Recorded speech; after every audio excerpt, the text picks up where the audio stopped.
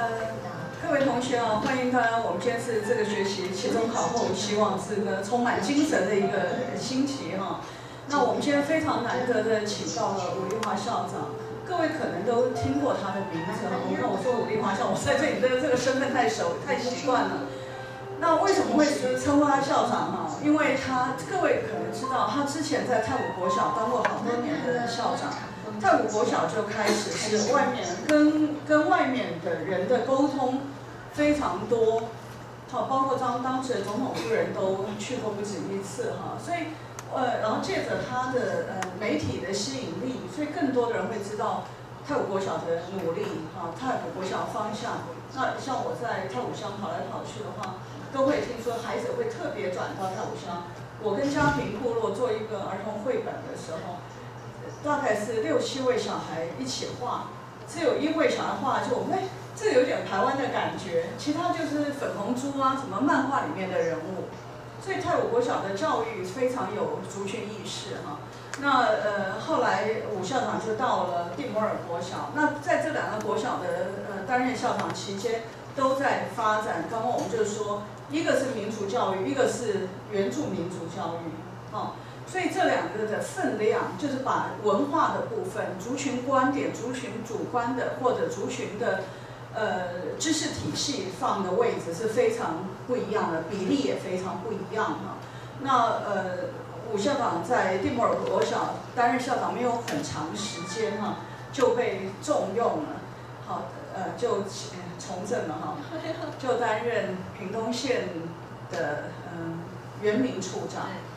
所以担任原民处长是不是？其实我当然很期待，就表示原住民族教育受到重视，成为嗯原民处的一个重点。好，那我们也知道，其实这也反映的是说，原住民的发展，原住民族教育是非常重要的一个基础。好，所以这两者光是从用人的这个这个角度。我们就可以看出教育跟一个民主的程序有莫大的关系哈。那呃，武处长做过不少事情，而且长期在耕耘。包最重要，其实应该是这个中心在发展呃民主教育的教材哈。那今天他会跟我们介绍他长时间以来累积的一些工作跟他的心得。他说很多要分享的，那我就不多说了。我们来欢迎他。谢谢。谢谢童老师，席上呢也有一位我认识很久的齐丽莎老师，今天看到她很开心，因为她住过我家哈，所以呃一直就是对我们万山语的研究帮忙非常多哈，在这边跟老师也顺便问好。好，各位同学大家好。呃谢谢你们哈，今天来参与这堂课。那这堂课呢，呃老师给我的题目是原住民族教育要怎么做？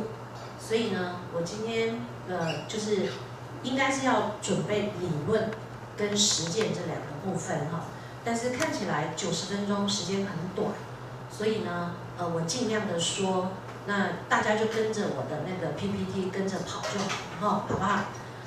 刚才给各位呢就是看了这一篇课文，这上头有写，这个是我们一年级的课本。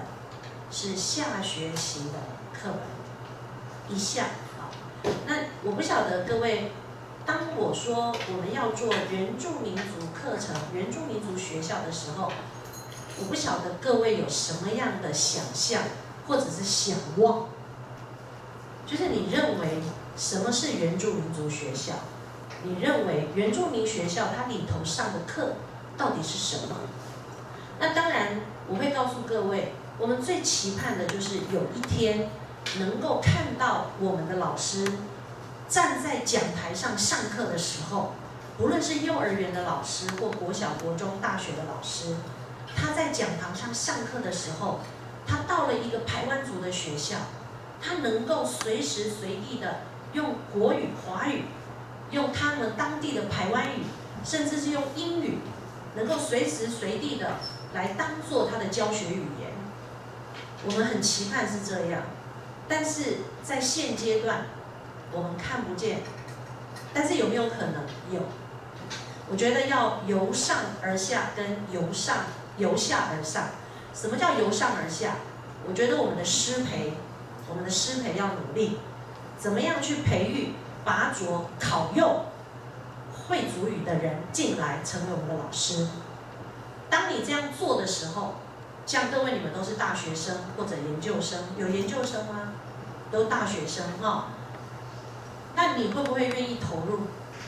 如果你会主语，你会不会愿意投入？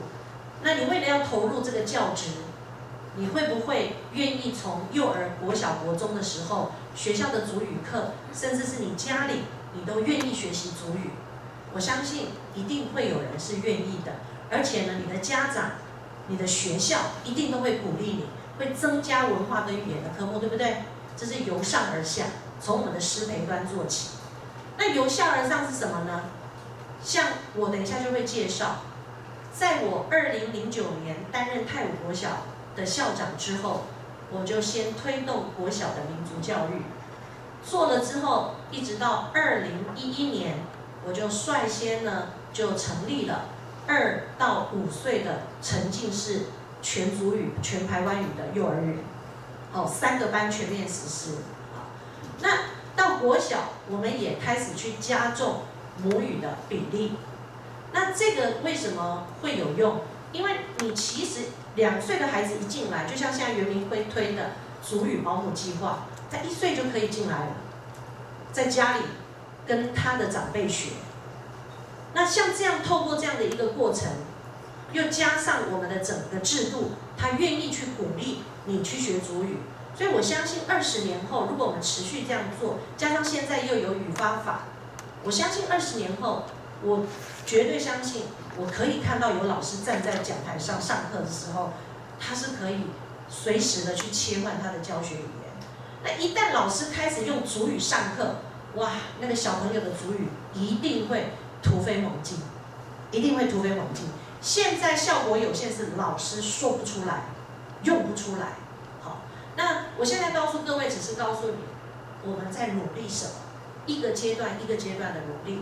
那目前我给各位看到的，这个是我第二阶段，就是走入到所谓的一般课程。因为我在泰国小的前四年，把民族教育的课程先做，所以园林会呢就有一个。补助各个学校发展民族教育的补助计划，所以全国都在推。但是我到一百零三年的时候，我就又开始走入到现在各位看到的这个一般学习领域。好，那目前呢，教育部的国教署，他有委托台中教育大学去做一年的专案研究，那希望呢，能够在明年度，能够去针对一些县市来做原住民族的课程发展中心。好那所以，我们一步一步慢慢来。那我到这边呢，我就先呃，透过这个影片给各位看，你看到什么？你看到的这个国语课本，跟以前你知道的国语课本哪里不一样？你以前的国语课本可以看到罗马拼音吗？没办法吧？啊，这个是五夫，五夫呢，在台湾族有两个意思。一个是祖父祖母的意思，相对的，它也是孙子孙女的意思。好，那为什么祖父祖母跟孙子孙女会共用一个“夫夫”这个字呢？我不在这边多谈，我相信齐丽莎老师他们都很懂哈，你们也应该也略有所悉。这个会关系到一个族群的语言观，它就有它的世界观。好，那这个我在这个地方不多说。然后另外你可以看到这个“瓦里瓦里亚”，“瓦里”在台湾语是风。所以瓦里瓦里养养是什么？俺是什么的地方？所以瓦里瓦里养就是很多风的地方，就是风口。好，那你会看到说，你看以前的课本不太可能会出现罗马拼音，但是呢，我们很大胆的把它放进去，而且是逐年逐年的增加它的量。哦，那这个部分呢，就是去搭配我们的主语课本。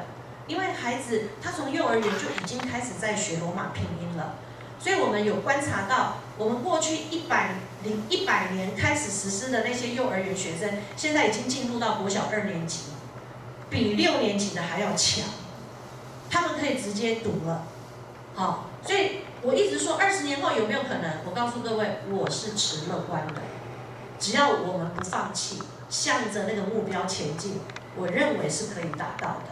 好，那这个是让各位了解。那第二个，我想请各位去分析一下，什么叫做排湾族本位的课程？什么叫排湾族本位的课程？我告诉各位，我们原住民自从日本人来之后，我们开始去学日本话，开始有日本人给我们的日本名字。开始去认识我们的天皇是在日本的那位天皇，对，那个是整个改观，然后很多的习俗被终止，因为认为那是落后的。没有多久呢，国民政府又进来，好多人都已经日语很流利了，而且他们也有日本魂了，结果呢，又开始学华语。又开始在身份证上换了一个中文名字，然后透过学校的课程，去开始认为自己的祖国在中国大陆，这个对原住民族来讲，一个政权的进入，它是整个里里外外的大翻转，那它带来的改变是什么？各位可以去想象一下，那个是很大的一个冲击。但是最大的冲击，我们可以直接看到，就是它在政治上的冲击，在经济上的冲击，还有它在整个文化上的冲击之外，我们看到它在教育上的落差非常的大。那这个部分我们要怎么办？我们去想象一下，应该原住民上学应该是要什么样子？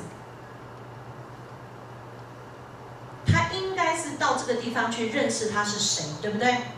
他才有办法成为一个很健康的全人。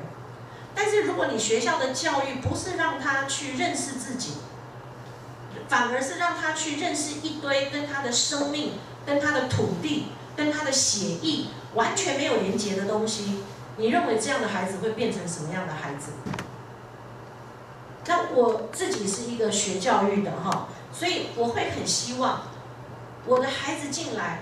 卢凯族的孩子进来，布农族的孩子进来，我们客家的孩子进来，我们应该要让他到学校系统里面，每天坐在那边，他能够去认识自己是谁，他能够去接触自己的语言，接触自己的文化。所以我们可以怎么做？那像这个第二阶段，我的做法呢，就是把所有，因为你上学，你还是要学国字啊，你还是要学英文呐，因为这个是世界的教育啊。但是你要站在什么地方开始谈这些？你应该站在孩子的文化，所以这个是台湾族的文化。你可以看到，瓦里法利亚是夫妇，他带着他的孙子一起去。可是原住民有风筝吗？原住民没有风筝啊。那这个就是文化上的对话，因为我们在平地是平原，所以我们会玩风筝，玩纸鹞。可是，在山上的孩子，我们没有这样的东西，但是我们也有风。那我们怎么利用风？像这个地方就介绍，老人家呢，他每次小米收成之后，他会带着他的这个小米到部落，都会有一个风口，很多风的地方。他在那个地方会怎么样？会怎么样？好，我告诉各位，这个是我去年六月一号。我在蒂摩尔国小的实验班，我特别聘请一位平地的老师，请他做教学观摩。这一篇课文是他自己选的。你知道他怎么设计吗？他就把教室的电风扇怎么样打开，然后呢，他就弄了一个这个小米，然后请小朋友来怎么样玩，然后那个那个米糠啊会被风怎么样吹走。然后他就问小朋友说：“小朋友，请问五夫为什么要去法利法利亚？”他说：“因为那边的风很大，可以把那个五夫打的那个小米的糠怎么样吹掉。”然后老师又把那个电风扇关起来，又再弄一次，结果那个米糠又怎么样掉下来，不能被风吹。这是平地老师哦。所以我们那一天的教学观摩，我其实是故意要让大家看，如果我们有教材。平地老师不能教吗？可以教，我们常常很遗憾的就是，我们都觉得说，我又不是原住民，我怎么可以教？你们原住民自己教。哎，我说帮帮忙嘞，我们学校的英文老师是原住民哦。我说他又不是英国人，他为什么要教英文？所以这是教学专业的问题，不是你是什么族群身份，对不对，齐丽莎老师？对，好，所以这个部分你可以看到，我们的课文里面从自己的台湾族母体文化出发，但是你有没有去连接社会？有，孩子就生活在现代的社会，他也他知道风筝是什么，但是他不见得知道祖父为什么要去巴黎巴利亚去做这件事。那我们就必须要从孩子的传统文化出发，那透过这个地方，你看哦，你看，呜呜静静的让风吹着小米，鸟儿小心的吃，树林里的虫儿开心的笑，为什么？这个地方我们是每一刻我们都有拉一条台湾族的文化价值，等一下我会介绍，这个地方就是把文化的一个素养放进来。这是原住民跟自然和谐共处的一种智慧。原住民，我们在小米园哈，你会到你会听到老人家说，这是我真心听到的，就是幼儿园去小米田上课，老人家说，虽然我们会赶小鸟，但是老人家说，没有小鸟的小米田就不是小米田。他说，没有小鸟的小米田就不是小米田。这句话哈很有意思，意思是什么？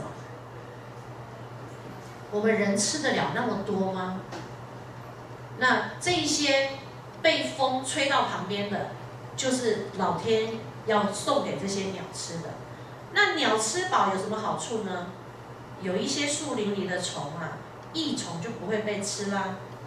那我们的树林、森林就怎么样？就健康啦。好。那那你就可以看到，你看最后两个有说有笑，慢慢的走回家，有文学的，有台湾族文化的，有文化对应的，有文化的对话，在这个里面全部都呈现。那你说我们台湾族的孩子进到学校来，不该有这样的课程服务吗？他也要学习如何做一个真正的台湾族人。那这个是呃，我在一开始呢，就是要跟各位介绍，让各位知道说，到底我们在做什么。好，那接下来我就要跟大家分享一下，就是我们这些年哈，呃，我其实要从头说起。各位请看，这是我在那个呃。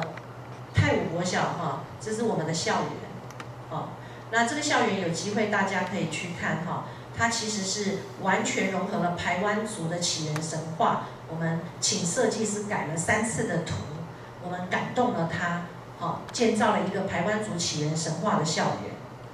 那我想跟各位提的就是说，我的中文名字叫武丽华，哦，那我的原住民，我妈妈给我取的名字。哦，叫塞奶，这是我的卢凯族。当然，我有家名，达罗夫扎，这是我的家名，应该请丽莎知道哈。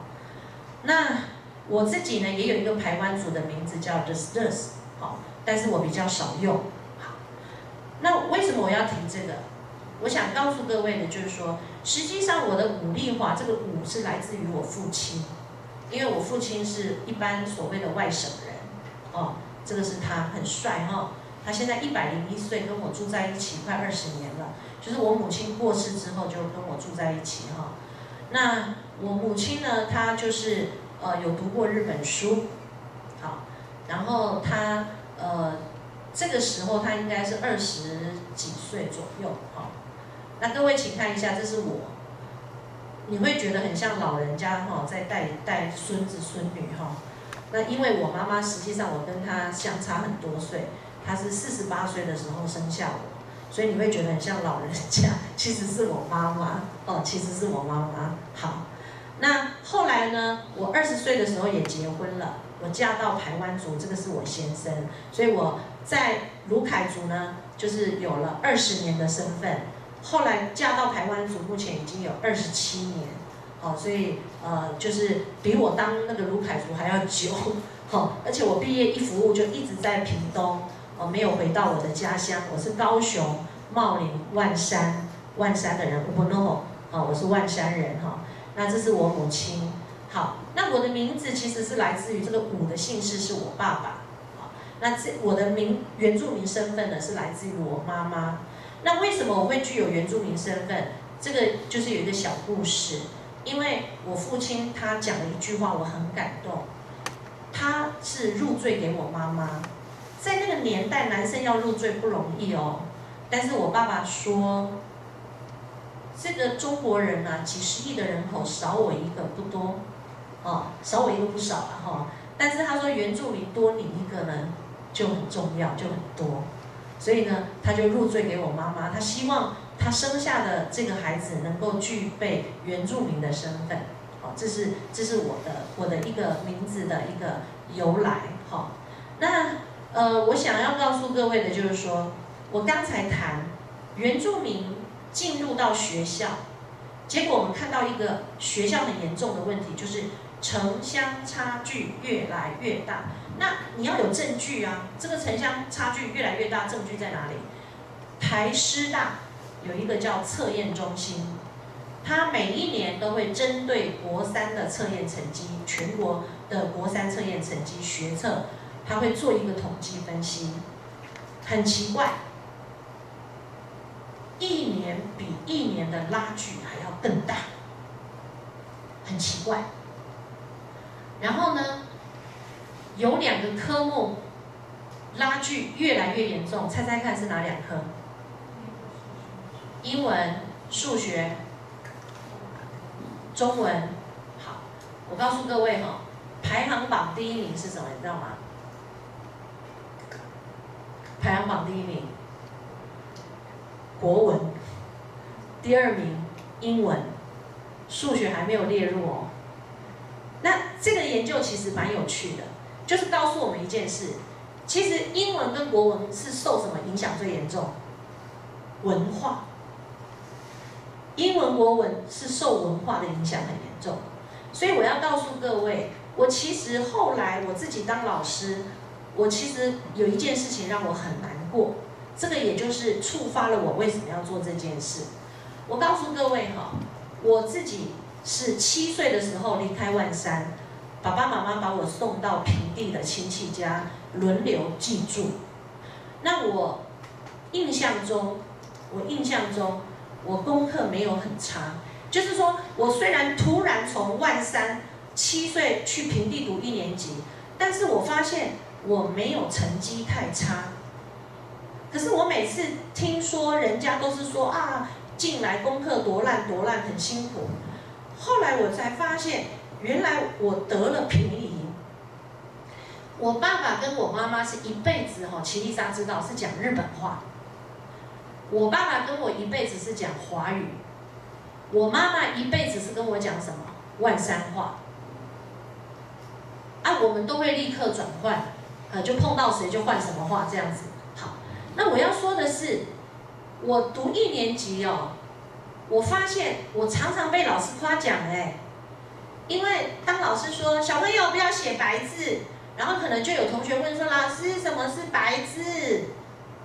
然后我就会说，老师，我知道白字就是写错字。老师就会说，哇，吴丽华你好聪明，大家给他拍拍手。我都不知道我的聪明是怎么来的，因为我爸爸的语言就是这样。因为那个时代还有很多的什么外省老师，然后我就发现说，我常常被老师夸奖哎。但然后你要知道，我们在教育学理上有一种叫什么比马龙效应。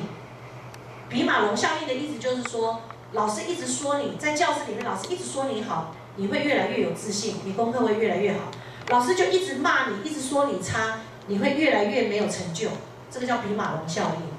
哎，我就觉得说，哎，我就觉得自己越来越聪明了，因为经常被老师说，哎呀，吴丽华你怎么知道？你好棒，好聪明，好，所以我就很有自信。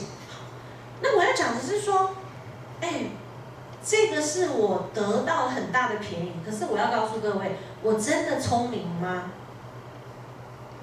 我其实在我自己的部落，我从小是一个会被人欺负的，因为傻傻的，我看到太多我的同期的同伴，他们都在山上都很有自信。可是我告诉各位，我国小六年级毕业的时候，我有一个同学，他说他跟我讲说他要去日本唱歌。那时候我是读高雄县的一个布农族学校，六年级的时候，我那时候也很羡慕他，哇，要去日本唱歌。但是各位都知道去日本唱歌是什么意思？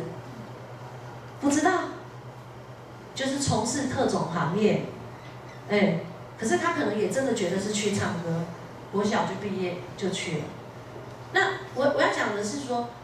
还有很多的同学，有时候我很难过。我看到我们万山很多在三十几岁、四十几岁，我的同年龄的朋友，尤其是男生，他们毕业了就去工厂嘛。他们毕业了就去工厂。我我问各位，假设你去工地，你能学到什么？一整天很累，你下工之后一定是干嘛？跟大家喝酒放松嘛。那你喝酒喝酒喝到某个程度会不会中上瘾？上瘾到某个程度就会怎么样？中毒。你的肝硬化，你的各种在工作上的态度懒散，什么都来了，上上班不正常。然后你要做什么事情都郁症乏力，然后老板也不喜欢你，你最后回到部落又是天天喝酒，很快就走了。所以我要讲的是说。每当我回想起我自己，我觉得自己多么幸运，多么幸运。那到底在学校出什么问题？因为我们进到学校来，对原住民来讲，尤其是从在山上的孩子来讲，第一个他会面对学习落差。他在学校学不好，他虽然是读原住民的学校，可是数学永远就是只能考五十分。如果他转到平地更惨。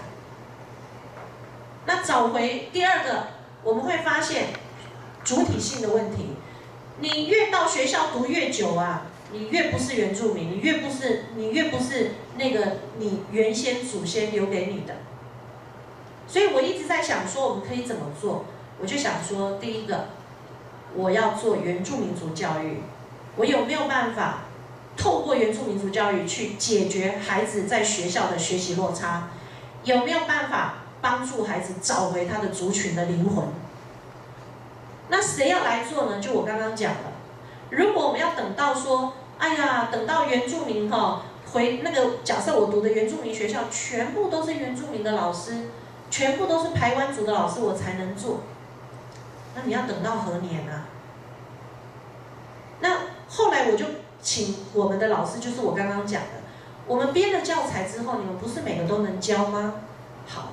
可是老师又问我一件事，校长，我们可以编，可是为什么我们要那么辛苦？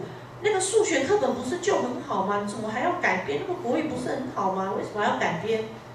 我就跟他讲说，那这样子的话，你看那个上次的那不是有那个太阳花事件吗？你们有没有去参加？有没有参加？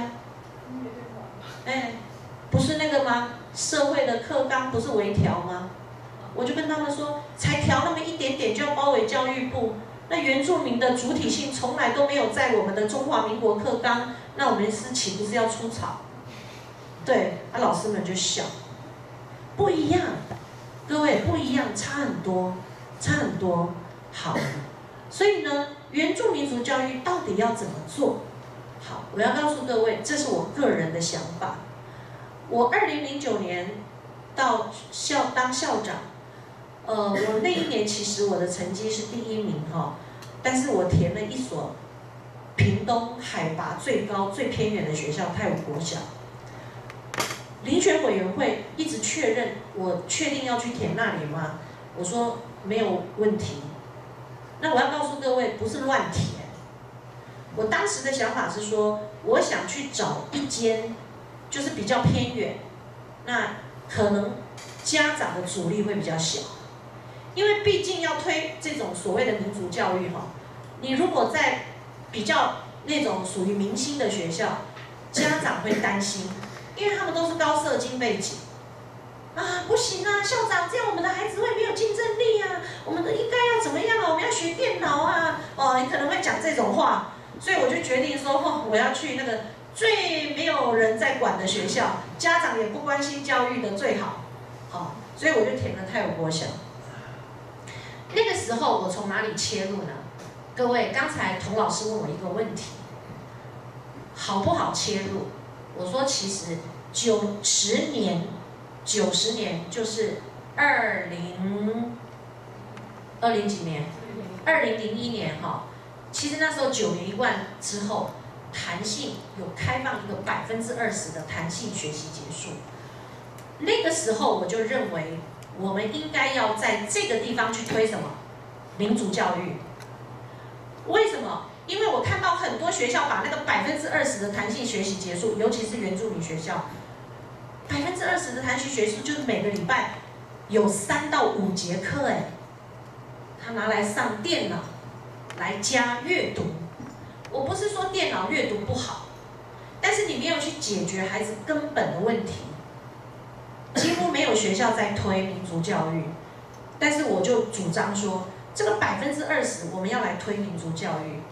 那什么叫做民族教育？简单的来讲，就是原住民的文化当中，它也有属于它的文学、记忆、社会、体育都有。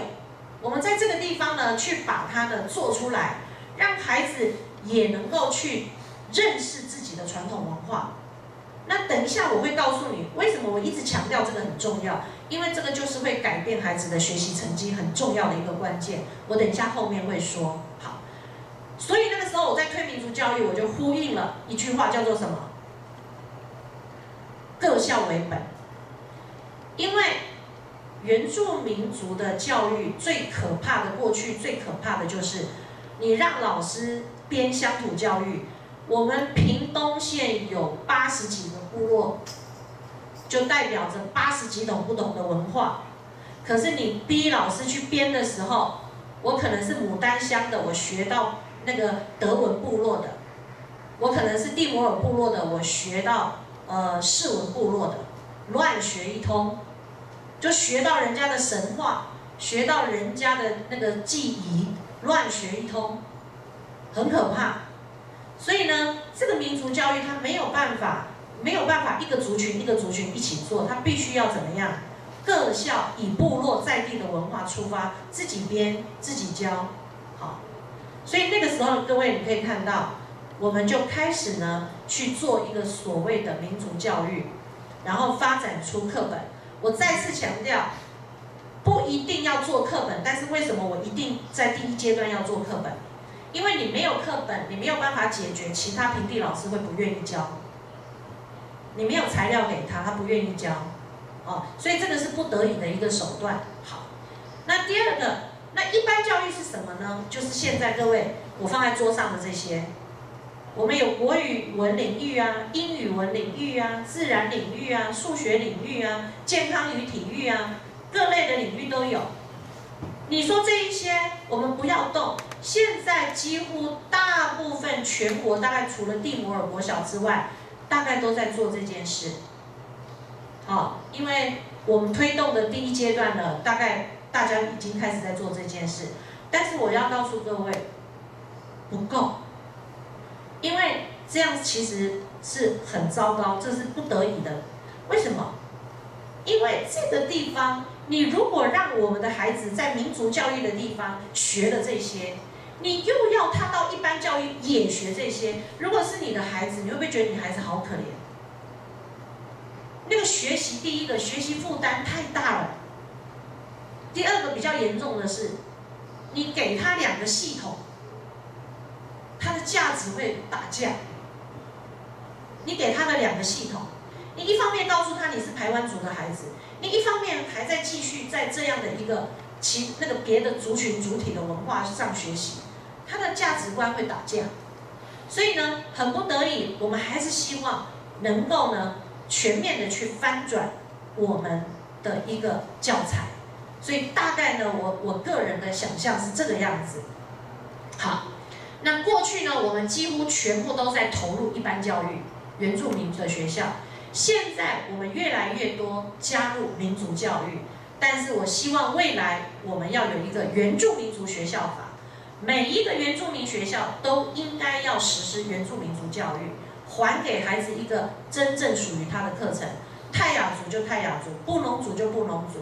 好，那这个是我个人的一个想象。那透过什么方式？你的课程要做文化回应，你的课程要做文化回应。那这个是希望大家能够一起来。好，那现在我就是稍微讲一点点，就是关于技术，这也不是理论，是技术。就是很多人都在问说，我们到底要怎么样把传统的知识跟现代的知识把它结合起来？然后让老师能够把课程活化，能够做出有效的教学，帮助孩子能够找到拿得走、带得走的能力。这个是我这几年就是一直在带着老师做的一件事，直到现在我到原民处已经半年，每个礼拜他们还是利用中午一天的午休会到我的办公室，我们还是要一起的研讨，哦，因为我觉得这个东西就是无论如何我。我就是承诺，必须要在一百零八年的七月以前，我刚刚有跟童老师讲，好，就是一定要把它一到六年级做出来，最起码要提供一个范本，然后供大家批评，供大家指正，哦，我们没有说这个东西是绝对好的，但是我觉得我们就必须要先把它做出来再说。好，那我给的技术是什么呢？此时此地日常生活就是真正的文化。你应该要从孩子所熟悉的人、事、时、地、物出发，因为只有这样子，孩子才会容易有兴趣，孩子才会容易理解，孩子才会学出好成绩，就这么简单，就这么简单。所以一定要跟孩子的生活经验高度脉络化，然后用他的文化去做回应。好，那这个的话，呃，不好意思，这个应该我就要跳过了哦。我只是想让各位知道，我到这个学校是九十八年的八月一号，礼拜六。可是八月七号就开始吹大风，八月八号很严重。好，那莫拉克来了，这个是我的那个泰晤国小。好，我都办公室坐不到两天就变这样了。好，我就觉得很傻眼。我说上帝啊，你是怎样？我好不容易挑了一个泰晤国小是怎样？好，然后呢？你可以看到，我们从这个地方，我从八八风灾就立刻启动学校发展计划。我在下学期九十九年二月就开始走教材，然后我们搬到第三个地方的时候，我就开始办理民族学校跟国际教育。然后一百年两周年的时候，我就开始试行民族教育校本课程，推动全族语幼儿园试行台湾族本位的领域教材。两年的时间。非常的辛苦，因为到处搬迁，到处流浪。但是很多人都问我说：“为什么你可以这样子做出东西？”我说：“很简单，因为有目标。有目标，有目标很重要。因为来的时候就说我要做这个，所以即便是遇到这些很麻烦的事情，你会发现，你因为有一个目标，你还是会继续做。好。所以有一个信念，就是今天不做，以后就难了。像以前我们的泰武国小，你看，我们都有木雕课哎。我们流浪的时候，我们就搭帐篷当木雕教室。女生呢，在走廊学编织。这是我们的办公室。这是我们在流浪的时候，我们就搭个帐篷就做做办公室。好，但是我们的愿景，把根扎深，把梦做大。我们把根扎深，就设计了很多很多的民族教育课程。我们把梦做大，我们也设计了很多以台湾族出发、跟世界接轨的国际教育。那文化到底在哪里？风灾后的第二年，就是九十九年七月，我就开始办理第一届的暑期民族小学。这是我们的民族学校。为什么？因为。我请老老人上课，我们学校的老师呢，就每天排两个值班，跟在旁边做采集、拍照、影音记录，然后转换成教案。你看，老人带孩子们去采集，这个是什么？做那个抓鱼的。然后这个是做省力工具，因为以前都要从河谷背石板上山。这个是渡河课程，这是做他们的教室列寮。这个是到老人家家里去学，但是学校也有教，只是说这个时候是到老人家家里去学。我们每一个寒暑假就会有两个礼拜的暑期民族学校。你因为如果不做这些，我怎么知道我们的部落的文化是什么？我也不知道啊。我是卢凯族的，但是老人家知道。那你会说老人家知道的是真的还是假的？我管他是真的假的，老人家说是就是啊，不然还有谁要证明？对，好。那你看一下这个，你看他们的老师怎么弄呢？这个采集课就是当天的中餐跟晚餐。这都是老人家设计的课程，不是我们哦。他们都知道说什么时候要把男生带出去，女生要干嘛？什么时候小的要这样，大的要这样？哎，那个老人家很会呢。你知道我我有时候我讲到我会哭，为什么？因为我第一次找老人家的时候，他们跟我说，哎，你看我又想哭了。你知道吗？我跟他们说，我想请你们来上课。他们说校长有没有课本？我说。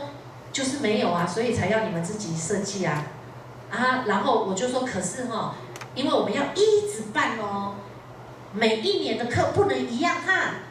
结果你知道他们怎么跟我说吗？哦，校长，你不用担心啦，这个十年也不会一样啦。然后我真的担心啊，因为我以为原住民哪有什么文化，我真的担心啊，我以为今年教完了，明年又是一样的，那我的课本教材要编什么？可是老人家这样跟我讲的时候，好像打了我一巴掌，很难过，非常难过。就是我们原住民已经搞到认为自己没有文化，这是非常难过的一件事情。好，好，那这个是我们的校园哈，当初就是为了要培育台湾族灵魂，那这个我就不多说啊，这个我不多说。然后我们就开始做了课程，这个是我们第一期的民族教育的课本，然后这个是老师的教学手册。因为为了要让平地老师也能上，好，所以呢，暑假孩子们就跟着老人家学。进到一般的领域的时候，平常的上课就是民族教育，因为有课本，每周一节。你看，像这是一年级哦，台湾族的诞生。我们的故事就是一个是这个，一个是龟，哈。那你看哦，祖祖就跟龟说：“龟，我们是怎么生出来的？从伊娜就是妈妈的肚子啊。”那妈妈是怎么生出来的？从奶奶的肚子啊。那奶奶是怎么生出来的？哦，我们去问五夫好了。然后有教学的重点，哦。然后你看，像这个是贴近生活背景的图片，这些都是我们校园里拍的图片哦。都是你知道吗？我很感动的，就是说，有一次我看到幼稚园的小朋友啊，我们在翻那个图卡比赛啊，有那个 Julius，就是那个红领。Julius，翻的时候有个小朋友说：“万安的 Julius，我吓了一跳，说我就马上去问老师说：老师，红梨还有分不同部落的品种哦。结果他一直笑，他说：哦，校长，他们知道那一张照片是去万安的时候拍的啦。所以你就知道，如果你是一个没有生活经验脉络的，我们举个例子来讲，你讲榴莲好了，小朋友假设没有看过榴莲。啊，你还在那边告诉他榴莲？我告诉你，你明天问他这个是什么，他也记不起来，因为跟他的生活没有关系，哈，所以你就会觉得那么笨，啊，你就给他他不熟悉的东西，他当然就表现的不好。但是，好，那你看，像这个地方还有呃知识性提问，这个是渡河学渡河的知识，好，你看故事中有哪些主角？这是一级阅读第一层的阅读理解。那这些主角常出现在生活中哪些地方？第二层的阅读理解，那为什么就是比较高层的第三层的阅读理解？你会发现我们编课本很用心，哦，很用心。然后呢，孩子们每一个礼拜也可以学一节的国际教育，但是你不能够为国际而国际呀，你还是要从孩子的生活出发。那为什么我们会谈到光的魔法？因为台湾族的起源，他们是太阳的孩子啊，太阳对他们是有意义的，所以你看，我们盖了一个光电的校园，我们的屋顶全部都是光电板。可是我们告诉孩子，我们有光电的社区，然后我们有发展光电，那就让孩子呢去认识，原来太阳有这样的一个作用，好，为孩子、为社区、为国家。然后你看，像我们这个是国际教育的英语课本哦，国际教育的英语课本哦，你看，小朋友，这个是我去看小朋友一节四十分钟的教学观摩，我真的看到小朋友一节课就学会这四个单字，而且会唱这首英文歌，你知道是怎么做到的吗？因为他们在主语有教。这个叫 Jogunu Jogunu Jogunu Ava Nu Ava，哎呀，Visa Sa Visa Sa Visa Sa，这个就是什么结尾歌？很多的原住民族都有那种，就是现在我们所谓的在中文里面叫顶针格式，就是最后一个字会变成第二句的什么头？原住民也有啊。好，那老师你看他编英文课本就变成什么了？因为 Eagle, eagle, what do you see? Oh, I see, I see a big snake. Big snake 就是这个百步蛇大蛇，哦，然后呢就换它。Big snake, big snake, what do you see? Oh, I see, I see a clay pot. Clay pot 是什么？陶壶。那你说这些东西我们都审核过，可以过关，为什么？这个在校园里面，这个木雕是孩子们自己雕的。那这个雄鹰呢，是我们学校的衣服。这个太阳是校园里画的。这个陶壶是放在我们的石板屋里面的陶壶，每一个东西孩子都认得。所以当你变成这样，而且他在母语课的时候他已经学这首歌，所以当你这样子转化的时候，四十分钟一首英文歌四个单词没有问题，百分之九十的小朋友都过关，除了那个智力比较辛苦的孩子以外，一般普通的孩子都能够过关。那你说原住民的孩子聪不聪明？你这样的时候就变得很聪明嘞。可是你在那边哦，drink a 什么，eat an apple，哦什么，他他可能不太行哎。可是你用这样的方式的时候，他有兴趣，他容易理解，他学得会，因为这个跟他的生活经验有关系。好，所以你可以看到我们的课本，我们除了教英文字母，罗马拼音也进来。好，然后呢，哦，像我们的幼儿园，我刚刚有介绍，这个都是我们校园里，这是小朋友。这个是我们校园里的老幼共学，这个是我们校园里的大武山，啊，我们在校园里有做一个大武山，啊，然后这是小朋友的课程，因为我们旁边搬下来之后都是台糖的树林，所以我就跟老师说，反正我们的环境里有什么你就上什么课嘛，我说这边那么多树就爬树啊，干嘛爬铁杆？就不为什么不爬真正的树，偏偏要爬那个滑溜溜的铁杆？好，然后。就种这些平常我们老人家喜欢吃的嘛，因为老人家他就会来学校帮忙嘛，对不对？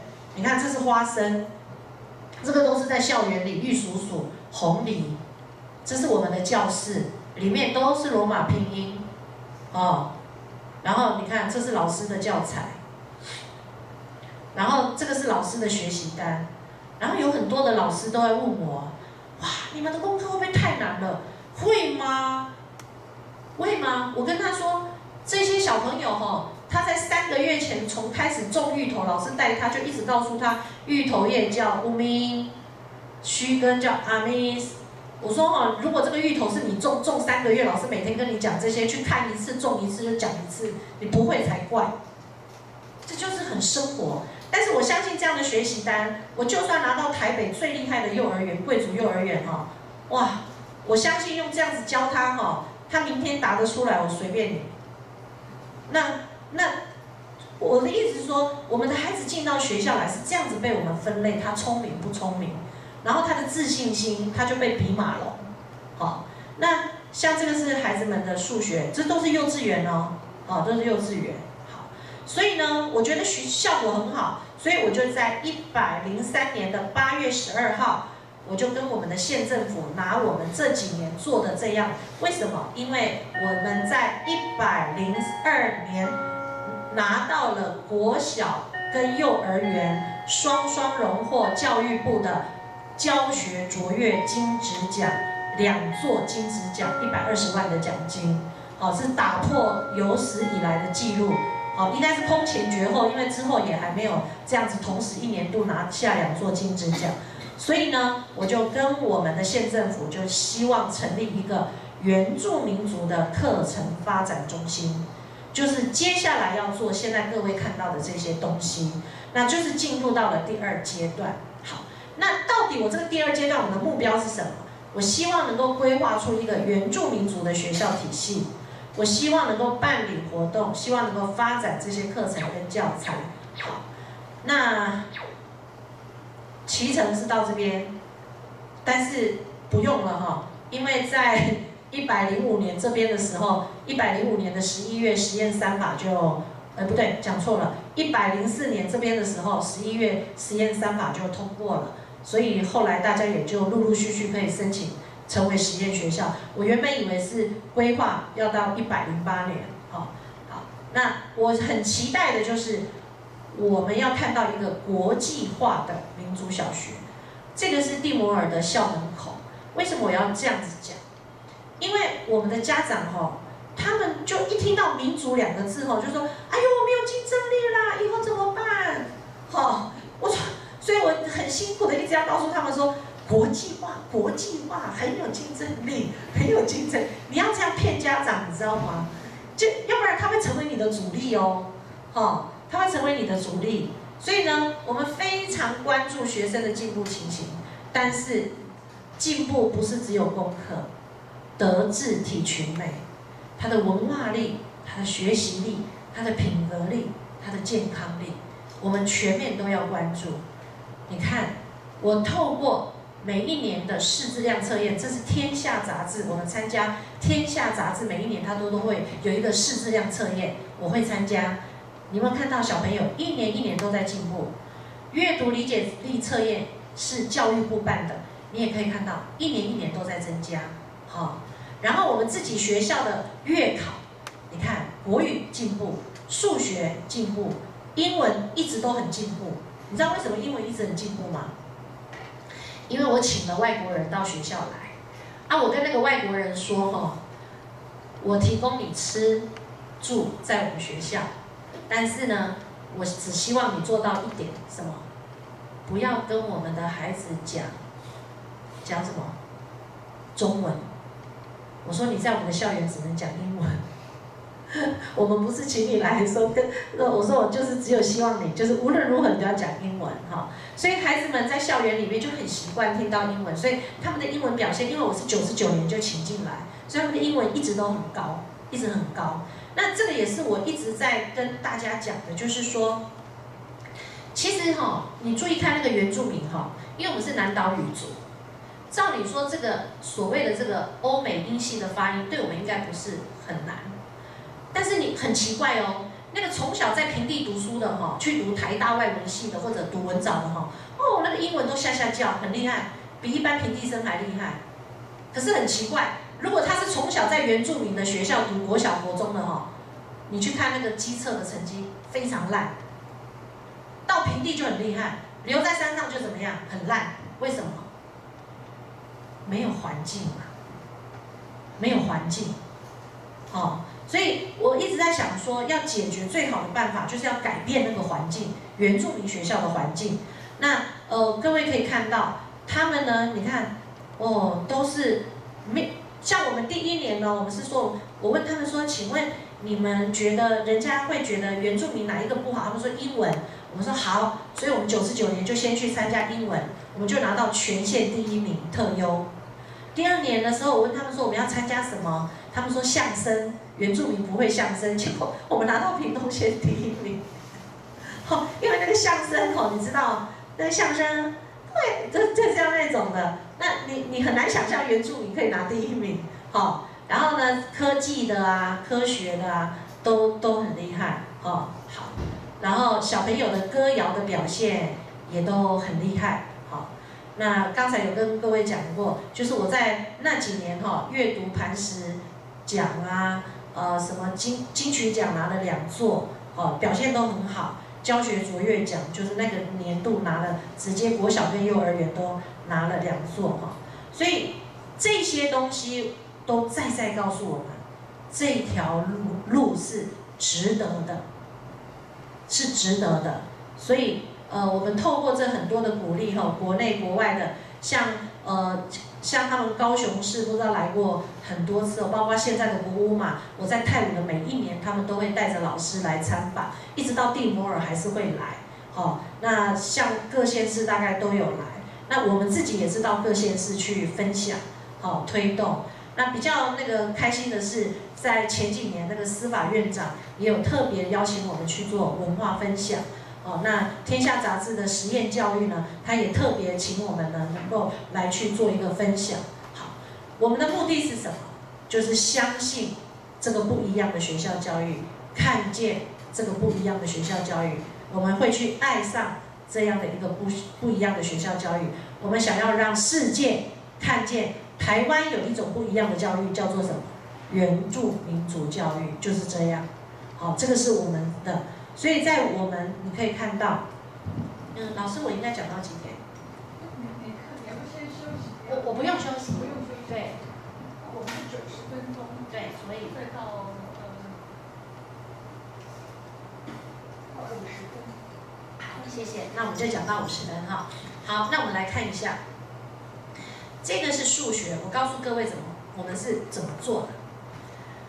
一般的数学，我们去翻康轩南一，我们会对照它的处理方式呢，一定是呃有像那个有一本有一个不知道什么版本，就是有一艘船啊，它就图片一艘船，有一只美人鱼，两个贝壳什么之类的哈。那我们用的是这样的方式哈，我念给各位听。在很久很久以前，有一个太阳神，他生诶，他生下了两个孩子，两颗蛋。他放在桃湖里，然后请百步蛇来守护他的孩子。当太阳的光芒日复一日射入到桃瓮里面，很温暖。所以呢，有一天，树上的雄鹰发现太阳的孩子的蛋壳出现了裂痕，雄鹰就到森林里去跟森林里的动物说：“大家快来呀，大家快来呀，太阳的孩子要诞生了。”好多的动物就跑来喽。们来看看有什么呢？哇，树上有三只雄鹰，来了四只黑熊，五只云豹，六只山猪，七只水鹿，八只穿山甲，九只飞鼠，十只猕猴。好，就一二三四五六七八九十都有了。好，各位，这个是平地的老师都可以用的。你不知道典故，你也不要讲。但是小朋友他在别的课。他会知道说，这个就是排湾族的什么起源神话。等到他四十岁，像我这么大的时候，我开始会想，为什么我们是太阳的孩子？你去问老人家，老人家会告诉你什么？啊，没有太阳会有我们吗？地球有生命吗？我们当然都是太阳的孩子。啊，为为什么要请这个百步蛇来守护？为什么？为什么要放在桃湖里？老人家会告诉你，这个桃核就是代表母亲生命的什么源头，也就是说，它就是一个母亲的子宫在孕育我们的生命。他为什么要请百步蛇？那个蛇会吃蛋呢？有一次小朋友上课关我，听他们说，那个蛇会吃蛋呢。好，老人家说，啊，这个就是我们要知道的啊，蛇。他可能是我们的敌人，但是你要用智慧让他成为我们的什么朋友？后来有一个老师他就分享，就出现一个 logo，那个医生的 logo 有没有？医疗院所，他不是有那个蛇吗？啊，我们有去问那个老师，老师说那个蛇就是为什么医疗界喜欢用那个 logo？因为蛇毒会致人于死，但是那个蛇毒也可以当什么救人一命的血清，对。所以，哎，很有意思啊！百步蛇是毒蛇，但是为什么原住民台湾族卢凯族会把它当做是朋友，当做是守护神？那老人家说，这个就是我们的智慧。越是可能会造成你生命威胁的敌人，我们要怎么跟他用智慧交朋友，让他成为我们的盟友，成为守护我们的人？好，那在这个里头，它其实是一个民族，它很重要的世界观。价值观、生命观，都体现在这样的一个神话里面。但是你要不要说不必？你就说故事就好了。孩子随着年龄长大，他自己会在这样的一个文化环境中，他会去悟出这样的一个智慧。好，那我觉得这样的一个课本，我们就让孩子，你看这个是第二页哦，你看我们怎么设计？好了，孩子诞生啦，就要去送礼物啊。为什么要送礼物？啊，原住民就是这样啊。来，一只雄鹰，它带了一把礼刀；两只黑熊背了两个铁锅；三只飞鼠带来了三个桃核。好，这些东西，孩子们在结婚在部落，他会看到这些是聘礼，就跟他的生活经验连结。但是他拿来学数学的时候，他就很好学，他就很会，哦。像这个就也是很有趣哦，认识零。各位你看哦，我们也是用一个故事来讲。山猪叔叔盘子里有两根香蕉，小猴子看到了，跟山猪叔叔说：“叔叔，我肚子很饿，你可以给我香蕉吗？”山猪说：“拿去吧。”他拿了之后又说：“叔叔，我妈妈在家里肚子也很饿，我可以再拿一根吗？”拿去吧。可是你会看到猪的脸，没有的时候他会怎么样？笑。这个很重要。原本我们学是两个拿走一个就剩一，一个再拿走一个没有，没有就叫做什么零。我们是要教数学零的概念。可是我去看教学观摩的时候，我发现老师跟学生在讨论一件事，哎，我想都没有想过。他们说什么状况下？你可以给人家一根，但是自己也要吃饱。有的民族是这样哦，有的民族是价值观是这样哦。你可以帮助别人，但是你总不能让自己饿死吧？但是有没有民族是两个都不给？这是我自己的，你要吃自己赚。但是对原住民来讲，你会发现到，我们是宁可自己没有，也要给人家。所以没有办法有变成有钱人。打到山猪的时候，一定要回部落，因为你不能藏啊，你会被你会被人家笑死。你一定要分。可是有没有可能，什么民族看到山猪要活捉，然后拿回去配种，生小猪再卖赚钱？我看原住民永远做不到这件事。价值观不一样，整个世界观不一样。但是你说，这个地球比较需要哪一种人？地球的文明资源的崩坏，我不晓得说对地球来讲，哪一个是比较重要，比这个我们地球比较需要的人。好，有时候我们走到最后，很多的汉人老师跟我分享，很感动。哇，他们说校长，我们现在觉得哈，应该全世界都要跟原住民看齐。第二个，他们说。我们觉得哈还好，这个世界上还有原住民可以让我们学习，真的，真的好。那像这些都是我们课本在处理的。那你看这个国语哈，呃，我们其实还没有办法很大胆的放弃注音符号，但是我们已经尝试把罗马拼音呢一起放进去。好，那这个部分呃，我要跟各位说的就是，像这个伊拉伊拉太阳爬呀爬，伊拉伊拉太阳爬第一，这个。他们在上这一课的时候，正好数学在上刚才的那个太阳起源神话，所以你看到这个地方，他会看到太阳跟这些动物在比赛爬大武山，然后呢，太阳爬得最快，所以就天亮了。有没有文学性？有，但是你看，伊拉伊拉是台湾语的什么？走吧走吧，像我外山语叫滴啦滴啦，你看进来了。然后你看哦，这个我的家在山上，天上的白云跳房子，阿里阿里跳房子，这个是一年级上学期，就是注音符号学完，罗马拼音就进来了。阿里阿里是什么？来吧来吧，大家一起来跳房子吧，就进来了。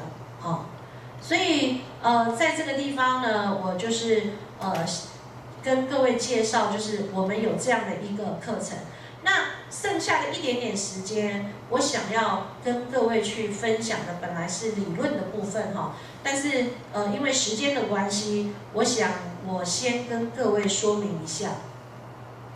其实我在，我给各位看一下哈，其实我在八十五年的时候。呃，我去读硕士班，然后特别写了一个万三口述文本的诠释研究。呃，其实一直没有人在注意我在做什么事情。哎，因为说实在，那时候我们的校长，我我那门课老师是那个谁，何福田老师。然后他就，我记得那时候我在发表的时候，就就大家都在笑，说武丽华到底在写什么东西呀？然后他就说你们不要笑。搞不好以后呢，只要研究万三，就一定要找武丽华这一本。后来我发现也没有，这二十几年也没有，就是一直没有人知道我在做什么。但是，呃，我要告诉各位，其实我一直做的事情是一样的。为什么？因为我其实在处理这个论文的时候，我是想要解决一件事情。那我直接给各位看结论，因为我用的研究方法是去找了诠释学。那为什么我尝试要这样子弄？就是因为我感觉到原住民的文化其实有一个地方我们没有去注意，是什么呢？各位请看，我们在处理这一些，为什么我现在做教材，人家会跟我说，你为什我我念一篇课文给各位听。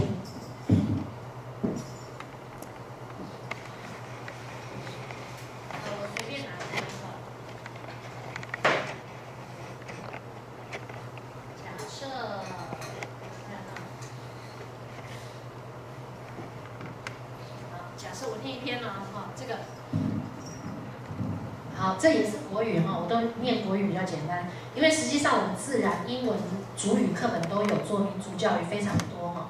好，我念这篇，各位注意听哈，就是呃，哎，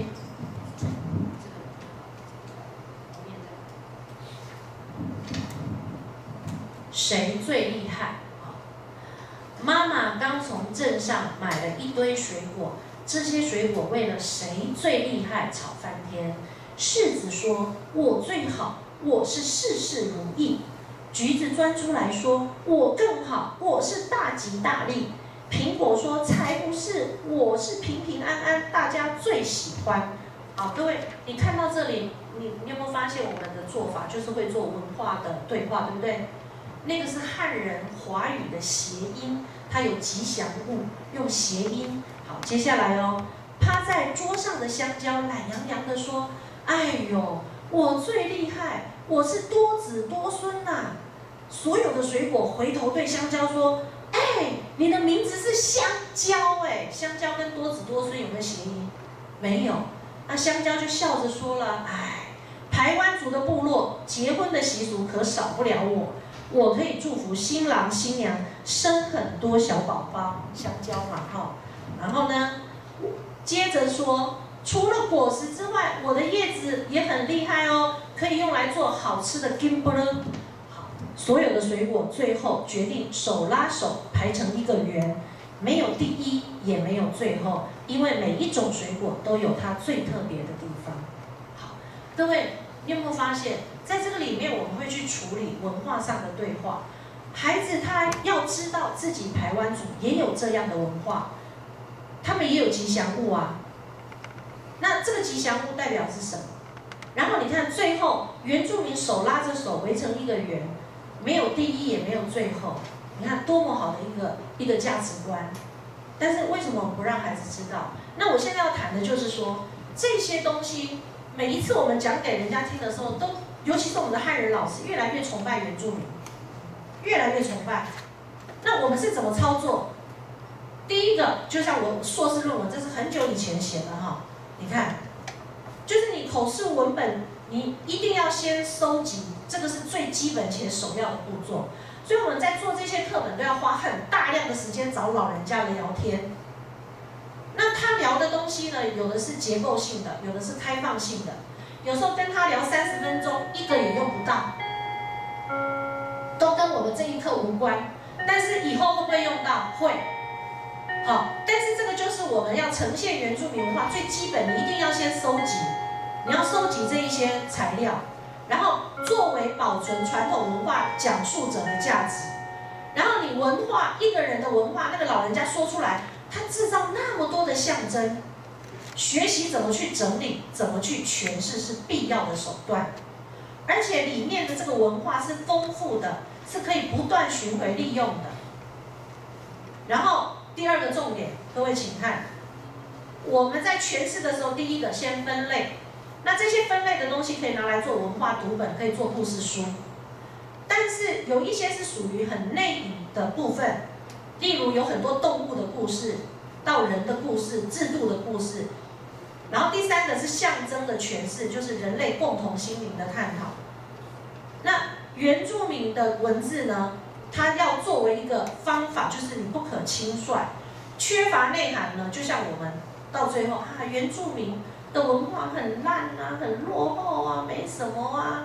不止你这样想，连我们自己原住民也这样想。你知道吗？像齐丽莎，她有访问过我妈妈李玉芝，叫我认。我其实那时候在做硕士论文，我也访问我妈妈，也访问很多老人家。你知道吗？你刚切入的时候，我不晓得齐丽莎知不知道，都会说：“哎呦，不要问啦，我没有什么文化啦，呃，没有什么啦，就这样啦。”但是你跟他聊的时候，他最后自己会聊的那个眼睛会发亮呢，就谈着谈着谈着，各位你们都是读人类学系的吗？哦，通识课程，对，你就会发现，你一开始的时候，你要访谈这些老人家哦，他是会告诉你。没有什么啦，没有什么好问的来了，嗯，那些你都知道啦，什么什么。但是他讲到最后，他自己他自己会找回他的那个历史境遇，他的历史感，这个是我觉得很就是反省很深的地方。所以建议就是说，原住民文本的呈现要很慎重，你直接的呈现事物的表面意义，会很容易反映原始社会这样的贬义观念。第二个就是说，你变成一种福音主流文化的价值认定的时候，你会让这些被归类为次级的文化差异，然后形成一个保持界限的机制，从而产生对立的认同，容易产生种族平等的假象。就好像我们现在在谈多元文化，其实是多元的文化，它很容易产生一种平等的假象，因为你没有彻底的去解构它。去重新诠释它，你没有直达那个族群，他真正他要表达的一种世界观、价值观。所以，我们教科书对教科书的建议就是说，希望由熟悉该文化的人参与。然后，对于教科书中这一些什么动物啊、节日啊、什么等等等哈，就是这些都可以提供非常好的材料。然后内容的陈述要采原住民观点，而不是让这个文化成为被描述的对象。就像我现在这些教材，是我主体的要描述，不是你来描述我。然后呈现时要注意价值观的引导，要从该文化的背景来理解与诠释。然后原住民不或文化不要去等同落入叫乡土，它是主流课程很重要的一环。这些我一字没改，这是二十年前写的。但是一直没有人在注意我在写这个东西，但是我一直这二十年来就是完全投入做这件事情。好，那呃在方法上，我希望诠诠释要作为一种研究工具，然后避免掉入意识形态的迷闹，然后透过诠释性的理解，提升原住民文本的层次。那田野呢，我就希望说，其实我们所面对的对象环境都不纯粹了，而且是快速变动，所以我一直主张八个字：此时此地日常生活就是真正的文化。当我们的每一位老师他愿意抛弃教科书，就孩子所生活的现场部落去采集、去说明，我们的每一个孩子都会是成为真正跟土地有感情的人。这样就够了，好。那研究方法伦理呢，要显得更重要。然后我个人的反省就是说，呃，我发现我写到第四五章就是后面的时候呢，琢磨比较多。那为什么？因为我会发现，我写了后面要诠释的时候，力量不够，资料不够，所以变成我又要再回到现场再去挖。也就是说，你要做诠释，如果你那个背景的收集是不够的，你很难做出诠释，好。然后，呃，然后我这个那时候我是说我只做万山文化，只是探讨，不是所有的原住民文化，也不是卢凯族文化，啊，那这个我是用了诠释学作为文本分析，但是因为技术也不是很厉害哈，那但是经过这样的训练，我发现我的眼界也打开了，发现生活中充满着符号讯息，然后让自己的眼光更敏锐，啊，然后研究文化这些，应该各位都很了解。哦，所以论文之后呢，我就呃，我们的屏东那时候是屏东师范学院哈，就给了我一笔钱，就做了这样的一个，把那些收集的故事就写成一本书。后来呢，也去参加了一些呃发表，但是就仅止于那刚毕业两三年就就没有了哈，就就没有。那这是后来就是比较忙于做学校的工作，所以像这些都是我们在学校出版的。就是给孩子幼儿园、国小读的绘本，啊，那这个是后来也做了很多的课本，像这个是民族教育的课本，这是国际教育的课本，那这些是一般学习领域的课本等等，哈，那刚才都有介绍过。那我们的老师呢，啊，这个是我到蒂摩尔国小，那接下来我要跟大家说，我当年去泰武国小是基于我想去一个没有人。太多干涉的地方。那后来我在第七年就调动到蒂摩尔国小。蒂摩尔国小是明星学校，原住民的明星学校。因为我们那个地方是呃所有原住民全国大概是文化公益重镇，哦三地门，哦它是一个文化公益重镇。我们的家长大概都是医生啊、公务员啊都有，哦他是一个就是水准比较高的学校。那我就故意要调到那边，我看出缺我就我就填调动。那有人说真是奇怪了呢，你以前挑一个最远的，怎么现在挑一个明星？我们不一样啊，因为现在要做的事情很难啊，而且大家都已经相信我了，所以我没有必要再那么辛苦。所以呢，我就调到这边来。那果然，像这位老师叫杨平老师，他非常棒。我跟他讲了我的理念之后呢，他就率先在我去蒂摩尔就是去年。他就率先采用这个教材做实验，然后我要给各位看一下这个实验的结果。你看，像这是数学课本哦，你看三角形、梯形、菱形、平行四边形，然后原住民的这个刚好是十个一排，好多数学哦。而且我们把这个变成了课本之后，每一个小朋友，因为我们礼拜五是穿族服的那一天。很多的小朋友，这个老师告诉我说，校长很有用呢。现在我们礼拜五的母语日穿族服哦，小朋友都会说啊，你今天穿的衣服跟课本的一样。以前哪里会有人去注意这些事？可是因为课本出现了，所以呢，小朋友就会去注意哦。好，你看这个是什么？二马路二，这个尾巴是五，叫小朋友去找一二三四五。啊，你看，可以学数字，树干一，好，也可以学数量。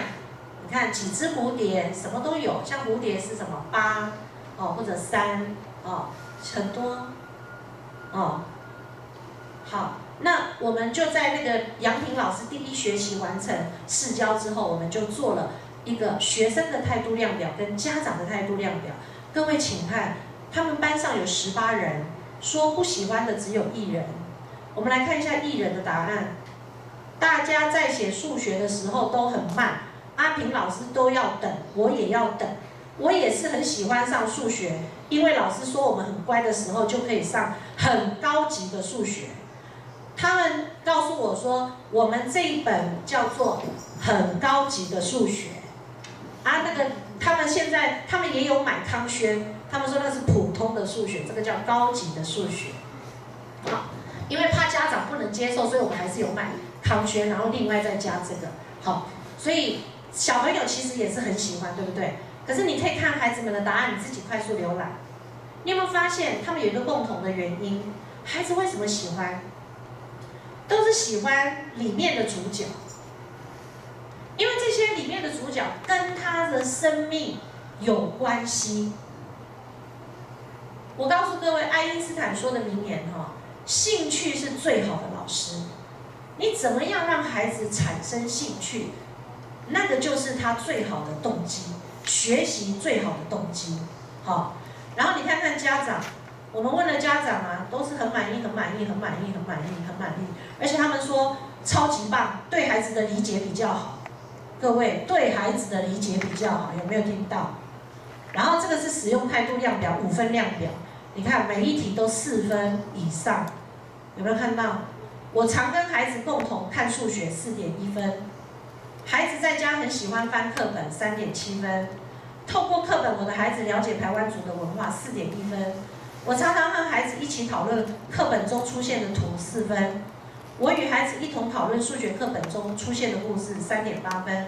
回家后，我会和孩子一起讨论上课内容，三点八分。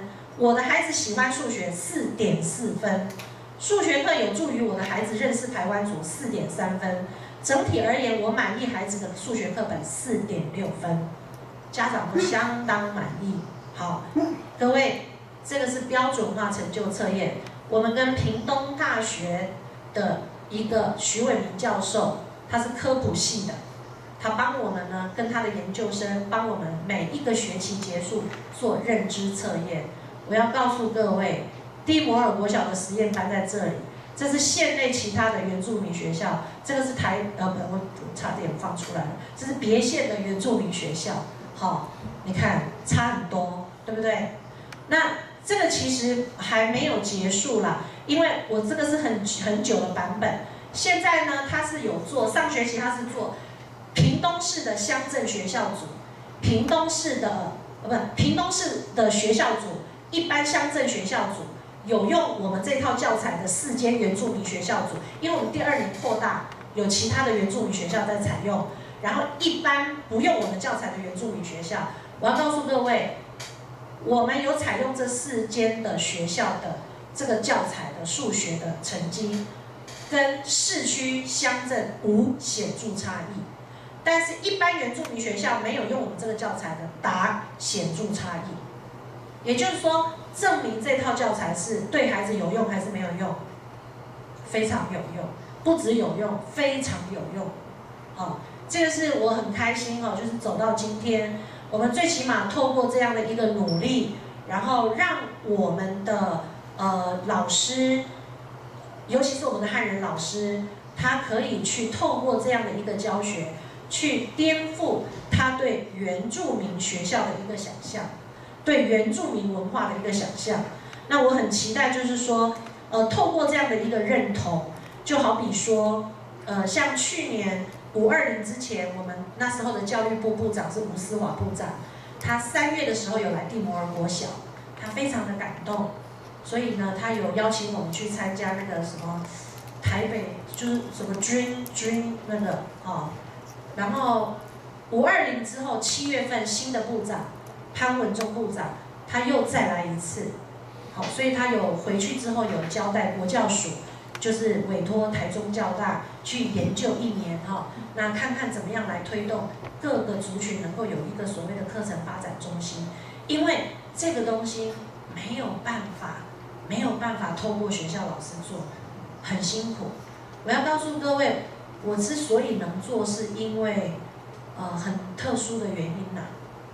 很特殊的原因，因为我刚才有一张本来要给各位看，这边很特殊，因为我自己一路是读教育的，然后我一路都是当辅导员、督学、阅读的等等哈，然后南一书局的国语科编辑等等，我自己一路都在从事一个原住民族教育的研究哈，所以。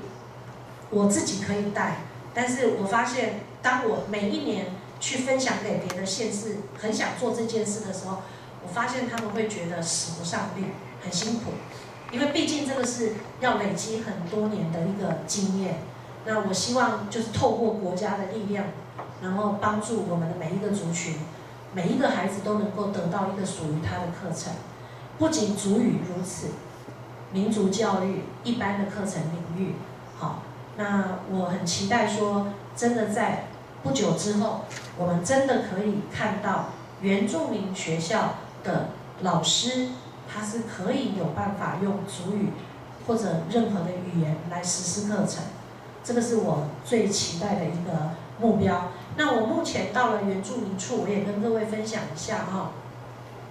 我目前到原住民处做了，呃，就是才半年而已，但是我做了两件事跟教育有关。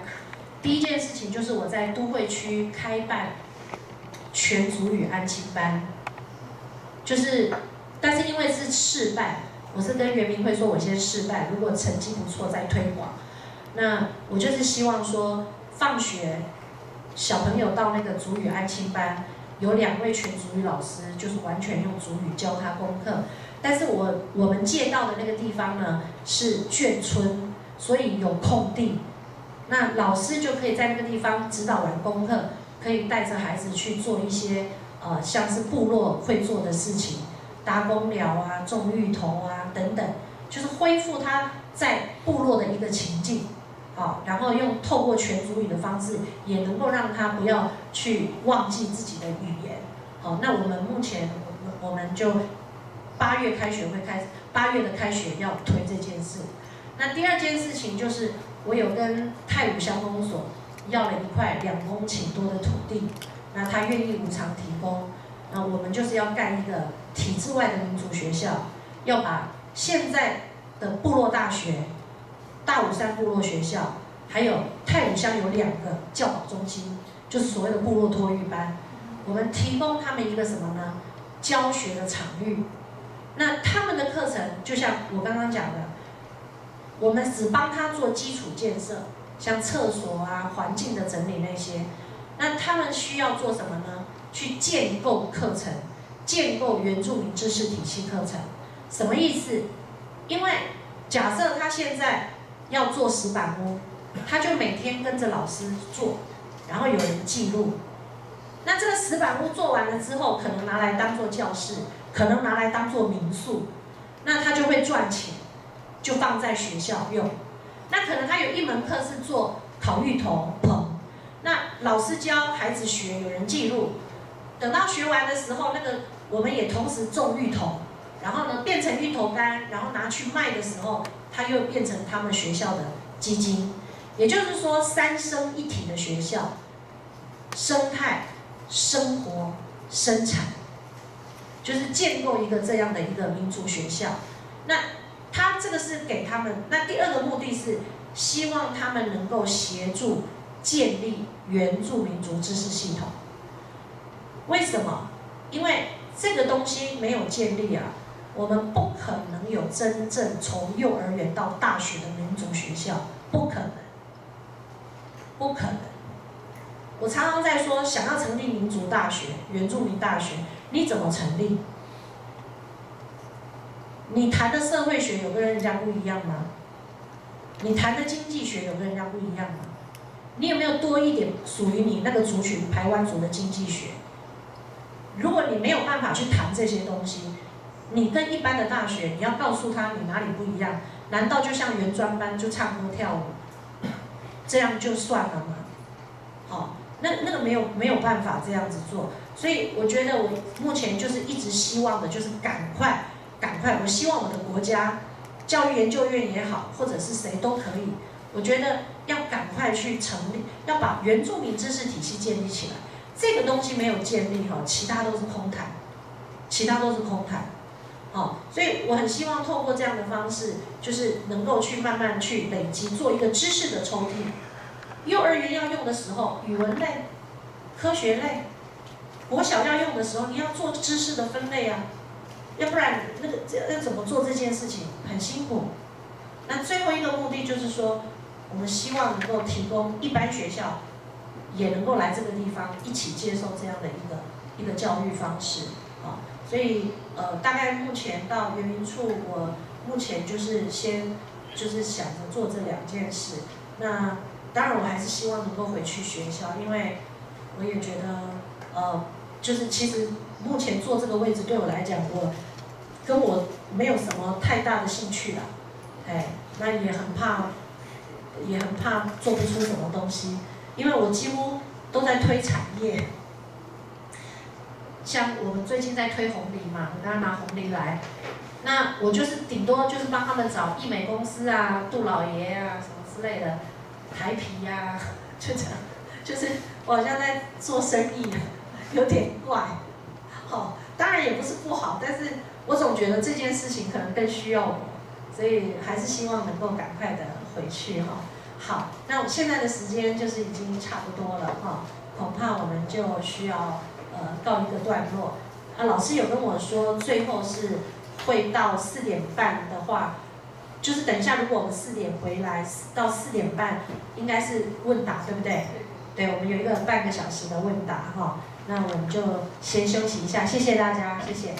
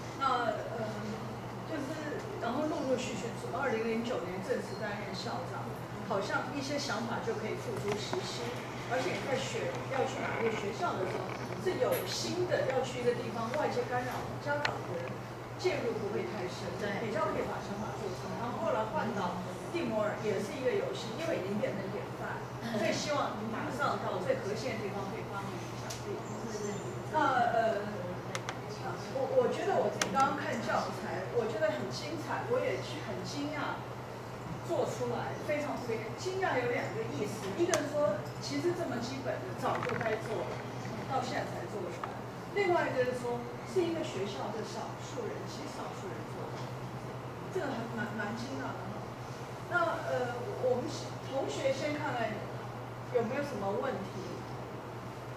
同学先准备一下哈。呃如果你们要回部落做事或者是说汉人同学想要知道自己可以在部落做什么事情处长这一套设计是谁都可以做因为有一套方法有有有教材所以大家都可以所以呃，非常非常难得，在校长的任内做到了许多的事情。所以我其实我是有两个问题，那我就先问同学，等一下要问哈。其实第一个，后来你自己在演讲最后面也是说了，可是我觉得好像。我还是觉得说是这样子吗？不知道有没有办法，或者可以再多说一点，就，嗯、的确就是你你怎么做到的，或者说你们怎么做到的？那因为多多少少我也听过一些别的，不管是像后来成立民族学校或部落学校，比较早，亦或现在的呃实验小学，有一些人我们听过，这些人都在努力，他们为什么为什么是呃处长你这边，你们在泰武国小，然后先去在蒂摩尔？发展出来这一套而且就是规划一零八年这一套就要完成好五年的这个这个教材就要完成？这么多人在努力为什么是你们这个团队可以做出来？除了你说因为你一路在做这个可是我我所知道的大概是很多人在教育体系里面资历也都很深所以我不太知道这个差别人格单纯的人格特质的差别还是说是有一套不同化还是真的觉得因缘际会。好，谢谢这是一个问题哈，另外一个问题，呃，其实呃，因为你前面在讲一般教育跟民族教育的时候，你非常意识到要以校为本，国小非常重要，因为国小是一村一一国小，这是在整个国家的设计里面本来就是一个村体一个国小，呃，是有时候呃是分校，可它原则上它是。跟社区可以应该是紧密结合的。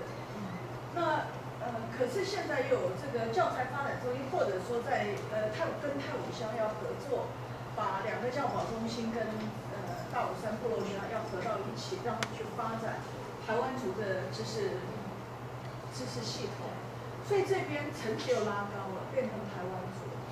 所以呃，以校为本，就是我们非常强调地方的独特性，跟我们要掌握一个族群的独特独特性，它的层级是很不一样。可是教保中心跟尤其教保中心，就他们的人力其实是这个责任要交给他们，也蛮辛苦的。然后这个成绩，因为他们真的很在意，所以这个层级两个跳的，是你规划你的想法里面，你觉得什么时候我们要强调地方性和部落那个地方性？因为甚至于一个村一个国小，可是那个村里面有好几个部落，这个其实这个困难本也本来也还有，嗯，然后我们就怎么拉高到一个族群？这条这个阶梯应该怎么搭比较合适？好，呃，我先稍微简单的回应后面第二个问题哈。呃，这个是因缘际会，因为在我们屏东县有八个原住民乡，其中中间有一个叫太武乡。我过去在太武国小就是在太武乡。那这个太武乡呢，它很特别的地方就是刚好它争取到原住民部落大学是那个平和村的。然后刚好隔壁的五潭村，他争取到的是大武山部落学校。那部落大学它是成人终身教育，就是一般的成人，你从其实你从国中、高中一直到你是七八十岁都可以，这个是部落大学。但是这个大武山部落学校是因为马英九总统那个时候，就孙大川，就是有一个所谓的部落学校，他收的是国中跟高中，而且是用假日。然后那个地方又独得天独厚的是，刚好在平和村跟望安村有两个部落托育中心，就是所谓的教保，都在太武乡。然后当时我们地国呃太武国小也是在太武乡，所以呃它刚好有这样的一个地，就是它的地方上刚好有这样的一个一个很我是觉得得天独厚的条件呐。所以呢，我就跟太武乡的乡公所就跟他说。如果我们要利用这几个学校资源整合，去做一个体制外的民族学校，不晓得香港愿不愿意试出一些公有土地？那香港听了之后，他就很开心啊，就坐落在那个舞台，也就是大武山部落学校那边的基地。那这这个东西就是为什么我要这样谈？就是回应老师你很担心的，就是。发展出这样的，其实还是有地域上的关系。那基本上我只是把这个定位成什么呢？就是我希望把它定位成，就是只要建立出一个模组。因为其实这个模组哈，因为在目前我们都在，包括我在做这件事，这是我们自己想出来的模组，也没有人规定一定要这样做。但是我们的想法总是觉得说，要有一个模组，才好让。有为者亦若是，我也可以按图索骥，我也可以这样去做。就是我们其实这个是一个很低的一个条件哎，那至于未来，我们当然还是要去注意。其实这个知识是很危险的，因为你不小心处理，那很有可能我们在传递一种哦，就是不一样的知识。但是在这个现阶段哈，我们已经是尽量避免。好，但是不可以说完全，因为你还是要大刀阔斧，你还是要大刀阔斧，因为你你如果想太多，那个步伐会踏得很慢。可是尤其是我们在做这个的时候，其实是在跟时间赛跑，时间对我们来讲是非常重要。因为我当初提这个计划的时候，我们当时的教育局局长还一直劝我说：“你要这么这么拼吗？”我跟他说：“我知道，但是。”你求乎高嘛，取乎中嘛。如果求乎中了，我就没有了啊。哦，那我的想法就是说，目标定高一点，就算是达不到，也不会太差。好，这个是回答老师的第一个问题。那第二个问题就是刚刚老师就是也也很快的，就是看到哈，奇怪，我这个不知道怎么没有把好，那你就这样看好哈。呃，这个是这样子的哈。我这个是到蒂摩尔国小，我其实，在蒂泰武国小有自己的一个学校的知识背景。那为什么我要刻意谈蒂摩尔国小？我刚来，难道换了一个学校就不一样了吗？但是我要强调的是，我换了一个学校，这是我刚来蒂摩尔国小，我立刻去检视。举个例子来讲，我发现他们从九十七年度都有上一些文化课程。第二个，我发现他们有他们文化课程的运作方式，这个都不是我我，因为那时候我在泰国小，我们有自己的模式，可是这是蒂摩尔国小的。然后第三个，我发现，在蒂摩尔国小有一个德文分校，他们自己德文分校也有自己的文化课程在进行。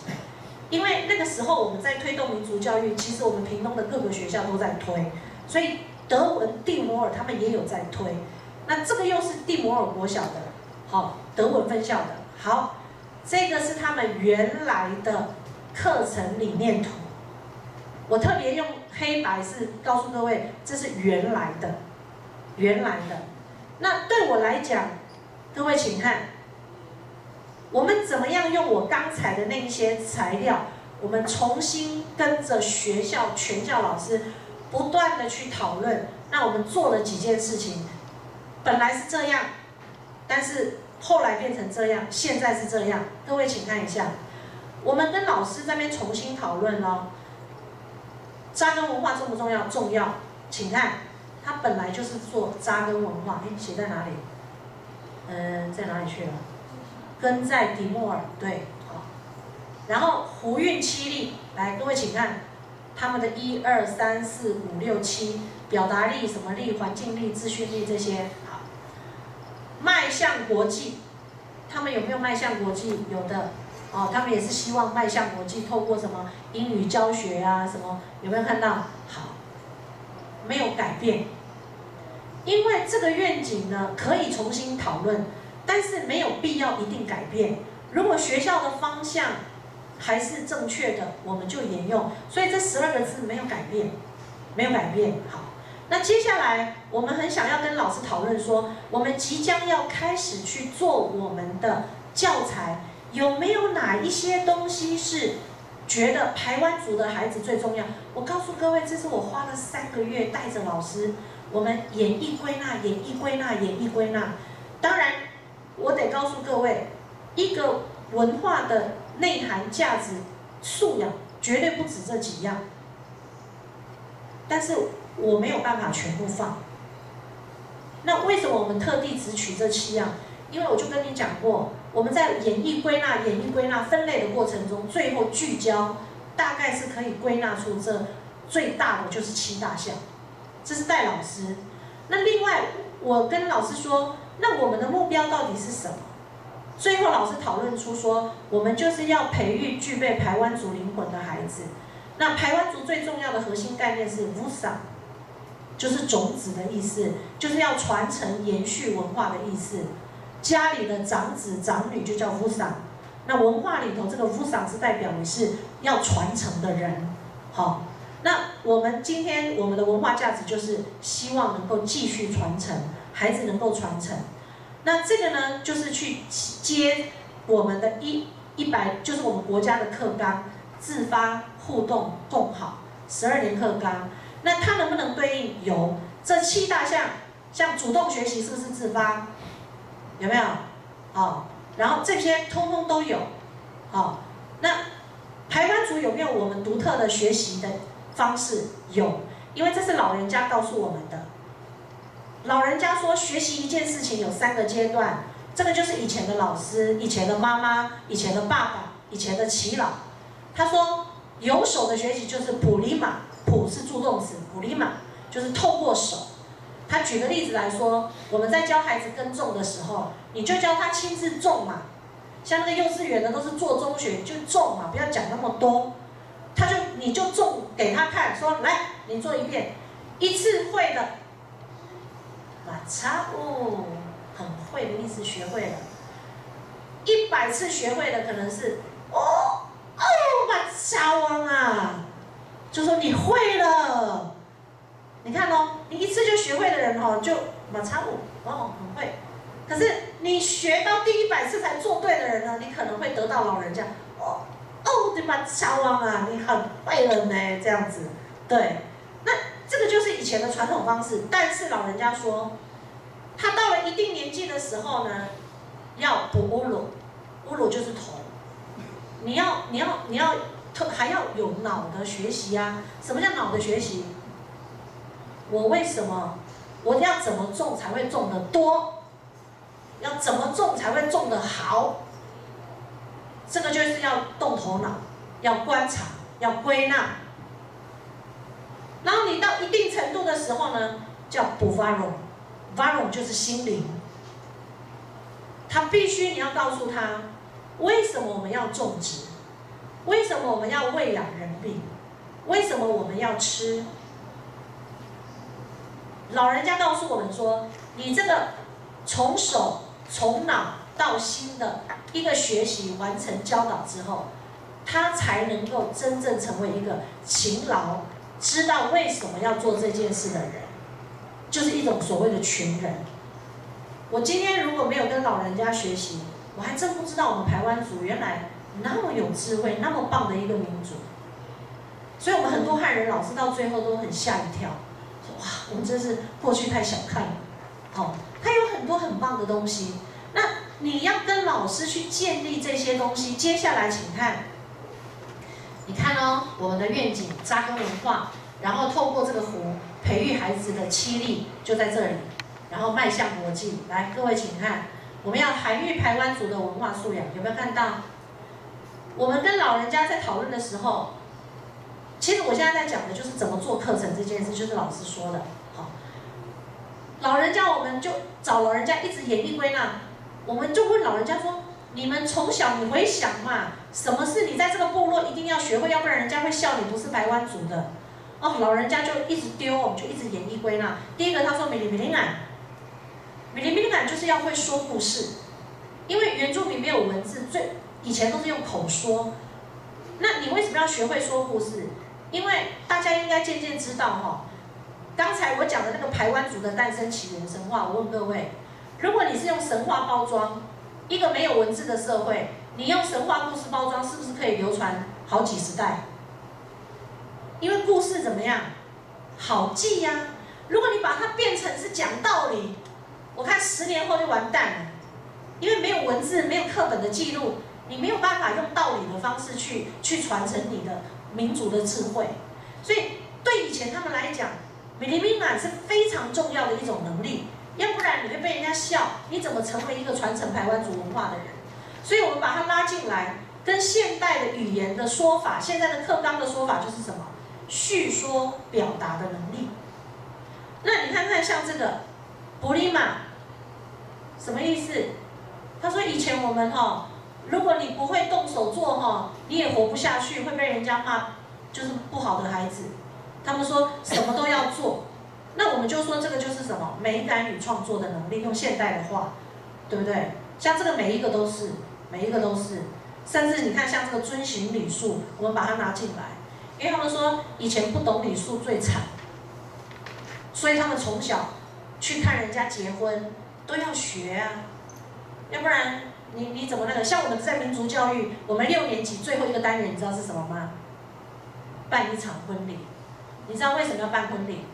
我们泰武国小有做那个秋千架。很多人跟我说，你们泰武国小为什么有石板屋？为什么有谷仓？为什么有秋千架？我说，因为我们的课程先出来才盖学校。我后来才发现这是上帝的安排。因为我们的课程出来之后，才开始就是重建。所以我们就把一一些我们要用到的，就全部就在校园里面呈现。你知道为什么最后一个单元六年级要办婚礼？因为你结婚的时候，美食传统美食的课程也要进来，制度也要进来，歌谣要进来，全部什么都要进来。就是你过去一到六年级学的家族还有阶级的地位的比较，在婚礼全部都会跑出来，全部都要用到。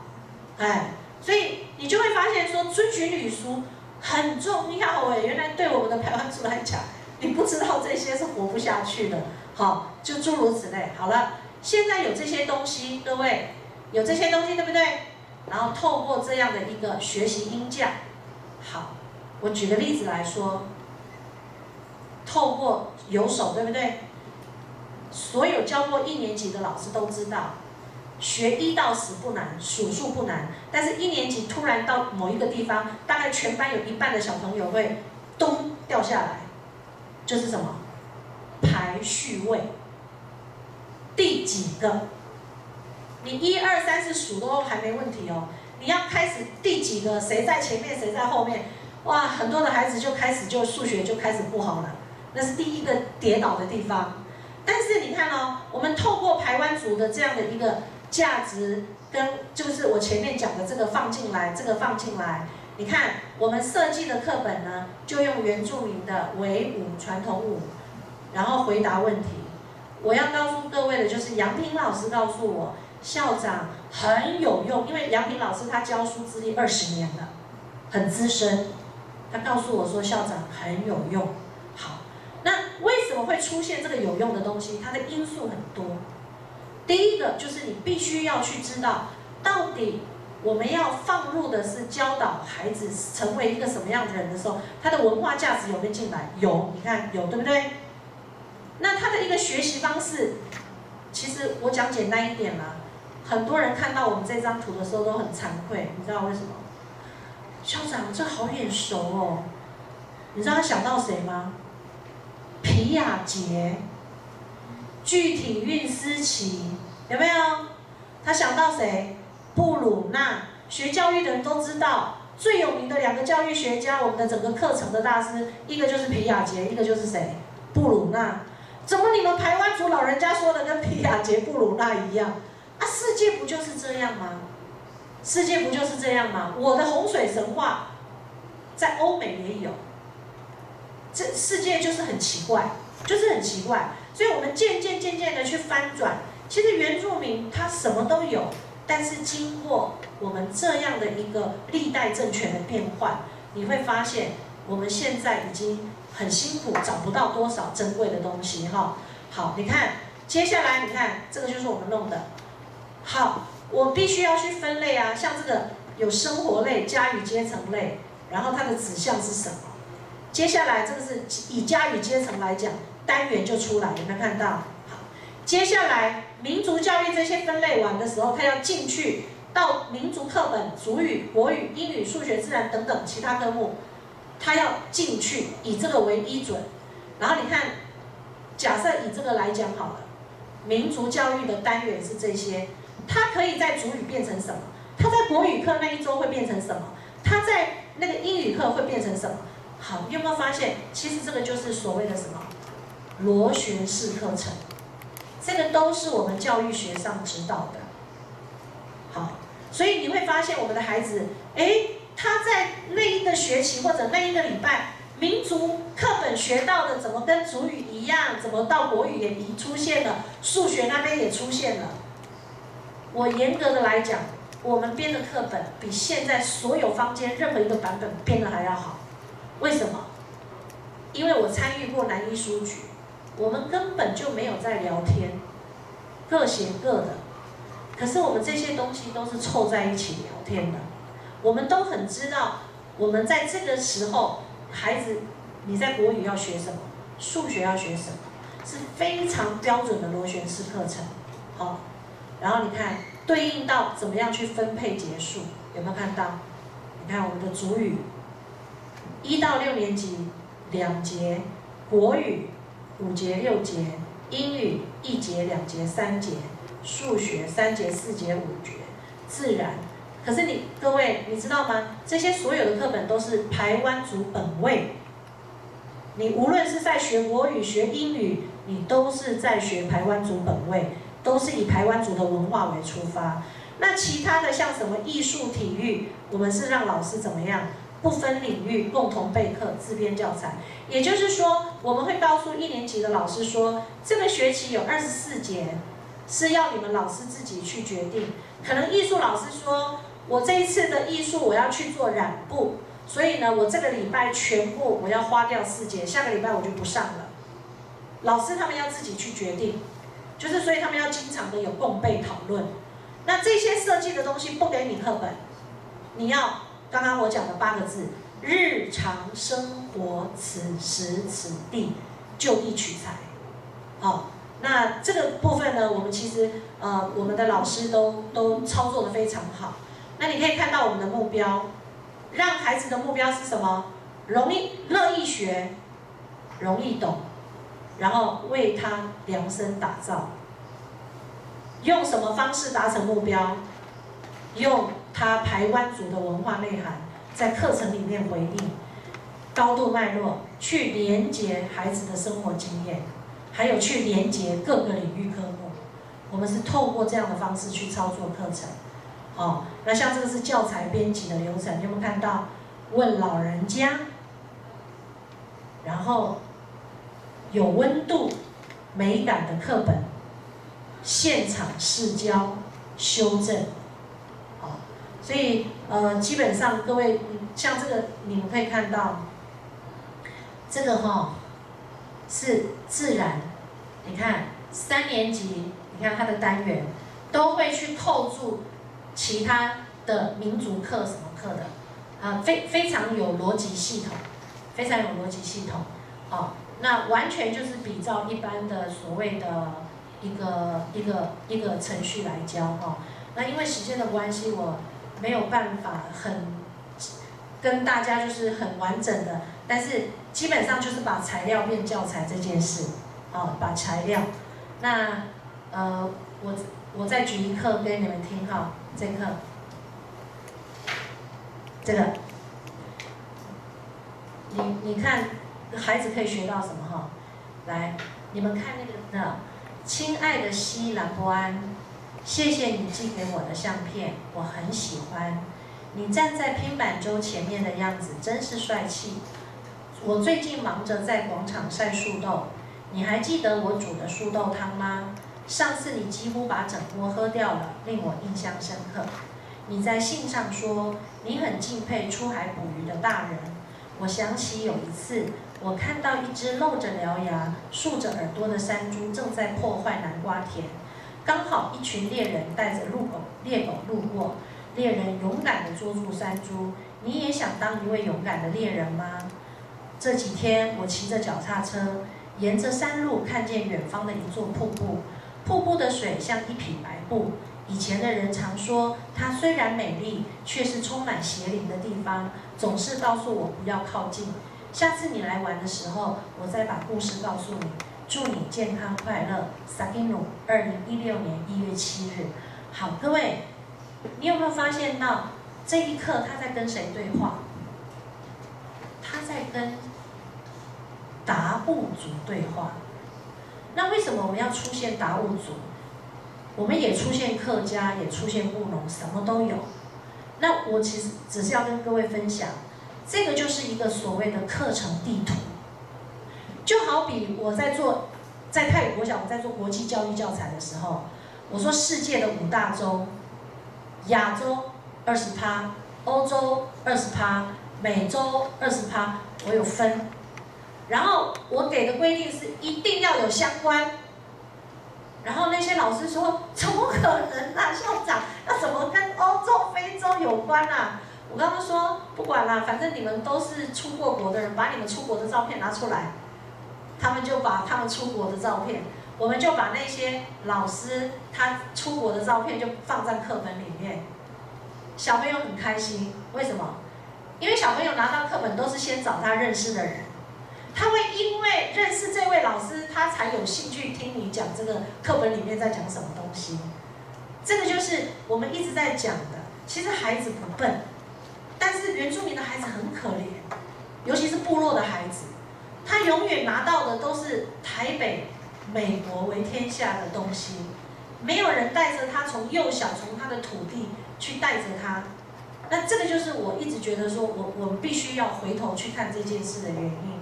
所以像这个西兰波安，后来老师才跟我说，连我们自己的原住民老师哦，校长，每一族的命名都不一样哦，连我们自己原住民老师都不知道。原来西兰波安是表示他是一个未结婚的小孩。如果他变成小曼兰波安是兰波安的谁？爸，又有喜难，又有那个哇。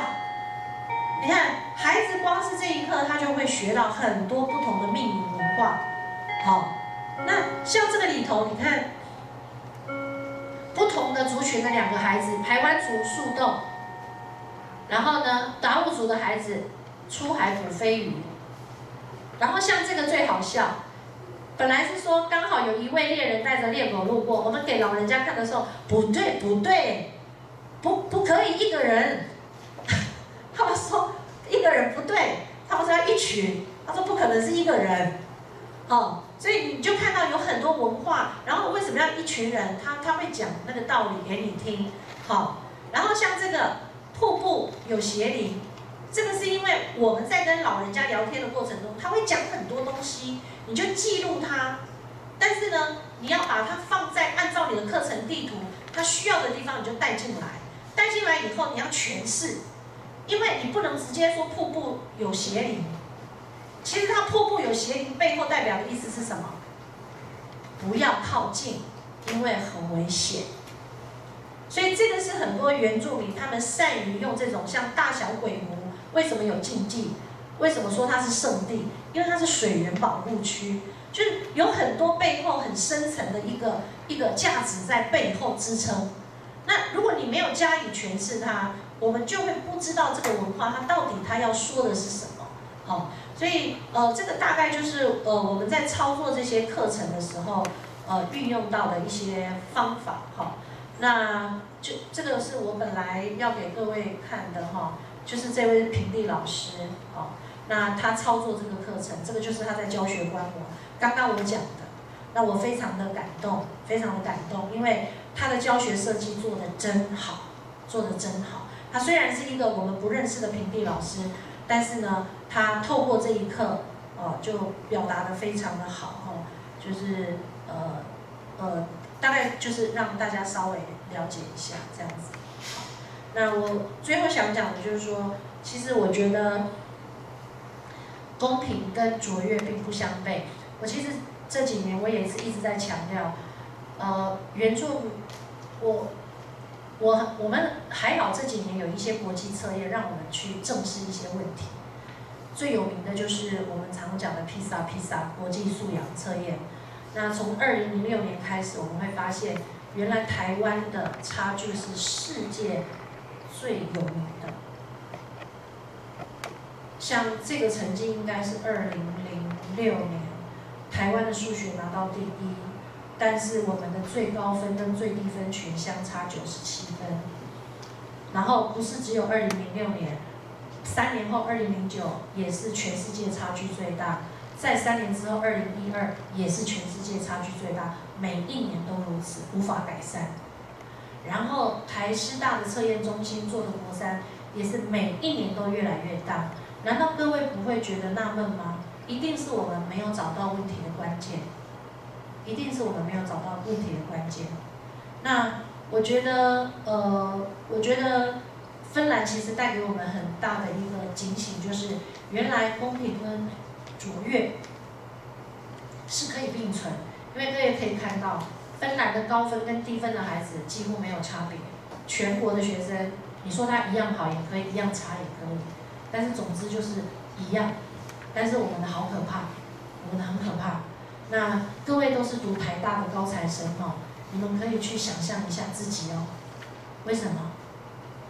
因为我不晓得，呃，就是大家在理解这个所谓的社会的复制哦，就是我们国家很可怕的地方就是。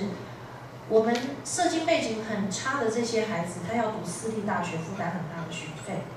但是我们社经背景很好的孩子，可以用很便宜的学费享受国家非常好的资源。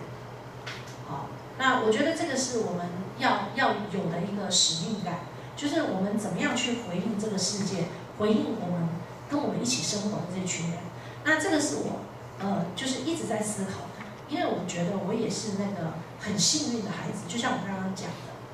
因为我觉得我没有很很辛苦，哎，怎么会跳到这个？哎，对，他跳的，哦。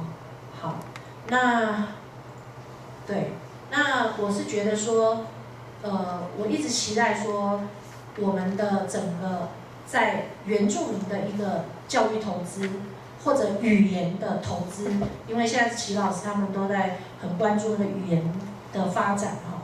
那我觉得，我觉得这个部分是很需要去检讨，就是国家可能，我觉得它最大的问题是在，就好像你在挖那个挖井好了，就是你明明要打到一千公尺才会打到水，那你现在就是付的钱只能打到五百公尺，然后你就觉得说，哇，花好多钱哦，没有啦，没有啦，没有用啦。问题是你就没有到达那个它应该到的水准？那这个当中其实我有很多的数据哈，我不晓得各位就是什么数据哈，我看看这边有没有写。呃，现在的国教院的院长叫许天明院长，那他过去在二零一二年我有看到他一篇报道，我那个时候就很激动，因为他是很关注所谓的一个呃教育经济哈，他有在台北市。针对十二班以下的学校跟六十一班的学校国小哦，去做所谓的市足教育经费。那一篇报告是台北市哦，他说十二班以下跟六十一班的台北市的学校的学生市足经费是相差七倍，七倍。那各位试想，如果是指台北市六十一班跟我们所谓的蓝语的，好了。你觉得他的世俗经费会到多少？恐怕要五十倍吧，恐怕要五十倍。那我觉得很多的问题都是在于，如果我们的差距越大，我们不会有所谓的国家的整体幸福感。因为差距是很糟糕的一件，因为古有名训，不患寡，患不均。一个国家不担心少，但是很担心差距。因为这是会拖垮整个国家幸福感很糟糕的一件事情，所以我一直希望说，我们必须要去正视所谓的投资效益比，我们怎么样去把经费去配置在适当的地方，然后做出那个效果。好，那这个是我大概呃就是一直在很关键、很关心的一些问题哈。那大概就跟大家哈，因为四点半已经到了，可能同学也不会问问题。所以我就把时间给全部花掉了哈啊！再一次的谢谢大家，谢谢。我相信同学有应该是心里有所感嘛，所以虽然四点半，处长还是可以等给我们点点时间哈。没关系。让同学再问一点问题。呃，因为我们可以知道，呃，处长最后讲的这三方面，其实。他关心的是整个弱势的问题，那刚好这个弱势是原住民的情况，所以从教育经济的这个观点来看，国家要投资多少才是合理？你你要怎么计算？那个不能是说表面上的一个平衡平头的齐头式的一个平等。来，请。现在你好，是听的非常正确，很感动。谢谢。我想要问处长，就是呃，因为我自己上学期在。新北的原住民聚落的客服实习这样，然后我看到小朋友他们很讨厌上学，很讨厌写功课，然后我知道这样子的学习方式不适合他们，可是也知道应该要融入文化，可是不知道怎么做嘛，因为我也是社工的背景，就我也不教育背景，然后也不知道怎么做，很好奇处长对于就是嗯都都市原住民的教育，不管是透过客服。就是像当初处长说如何去的那个原住民安亲班，呃，部落安亲班，我听到就很兴奋，就是不知道处长有什么想法，因为我们那边的小朋友，就是说实他们的他们也住在台北啊，说实话，这个台北本位的课本跟他们的生活差距也没那么远，可是，然后或者是如果要回到原住民本身的文化，但是他们的地那么小，连找一个打球的地方都没有。地方打球，也没有像这么好的环境，可以在就是自然当中学习？不知道可以吗？好，我要谢谢谢谢。好，跟各位说哈，因为你们都读台大，都是很聪明的孩子。我自己教书哈，因为我刚到原民处二十呃半年，我之前有二十七年的教学经验。那我要告诉各位哈，我这二十七年当中，齐丽莎认识我的时候应该是在市区，我在市区教学。我刚毕业的前面十年哈，在三间市区的大学校，我一毕业就留在大学校。第十一年我就到偏乡，屏东最北的一间学校，但是它不是原住民学校，是乡下学校。然后第十六年到原住民学校。然后第二十年就去那个泰国小海拔最高的学校，然后我我要讲的只是说，各位，我各类型学校都待过，我要讲的是说市区跟乡下的孩子我都接触过，我们已经精到怎么样，你知道吗？就看到孩子一年级进来，大概就知道二十年后他会是怎么样子，就已经大概那个预测力很准。那你要看孩子哈，很简单，第一个就是要看他的。父母的教养观，那预测力很高是父母的教养观，也就是说，父母社经背景很高，不一定是教养观一定很好哦。啊，很穷的哦，也不一定是教养观很差哦。但是我们只能说，社经背景高的哈，他的教养观好的比例很高。然后那些低社经背景的父母哈，他通常没有什么好的教养观。就是放牛吃草那种，然后甚至打啊、骂啊，然后不良的示范呐，各位懂吗？哦，那是第一个，就是你光是看他父母的教养观态度，我们大概就可以预测这个孩子的功课会好还是不好。那第二个就是要看孩子自己，这个孩子哈，如果是属于那个专注力很高的，大概他的学习就会没有问题。那个专注力很低的哦，那个就蛮惨。那专注力很低来自于什么？其实还是要回应到他的家庭教养，因为有很多因为没有给他建立的正确的教养观，以致他来到学校他坐不住，他专注力不够，他的学习态度不好。那为什么我要讲这样子哈？我就是要告诉各位，我们在教室里头上课哈，这个课本哈，我觉得我我简单的讲，就是这个课本。只适合给 top twenty 百分之二十，就是我们在那个常态分配曲线图上的上面的那一区的学生。我告诉各位，我教书那么多年，我是没到过台北市教过资优生，但是我在屏东教书这么多年，大部分的孩子都落在中间以下，百分之八十的孩子都落在中间以下，就跟那个我们所谓的常态分配一样。那为什么我要讲这个？聪明的孩子其实不需要老师，他光是那个课本这样翻哦，很快就记起来了，理解力也好。那他的背后是什么？有好的家庭背景，或者他本身因为从小刺激很高，从小父母有给他阅读，床边阅读，家里阅读，这样的孩子，我大概我看到很多的孩子其实根本不需要我，他没有我，他一样功课很好。但是不可否认，大部分的孩子不是这样的。这个就是为什么学校的课程很重要，为什么他的老师很重要的原因。那我们其实，在努力，在努力的就是这一块决定性，我们可以决定的这个部分。这这样你了解我意思？那现在回应到为什么我要用这个来去回答你的问题？因为你说你有到偏乡做客服，对不对？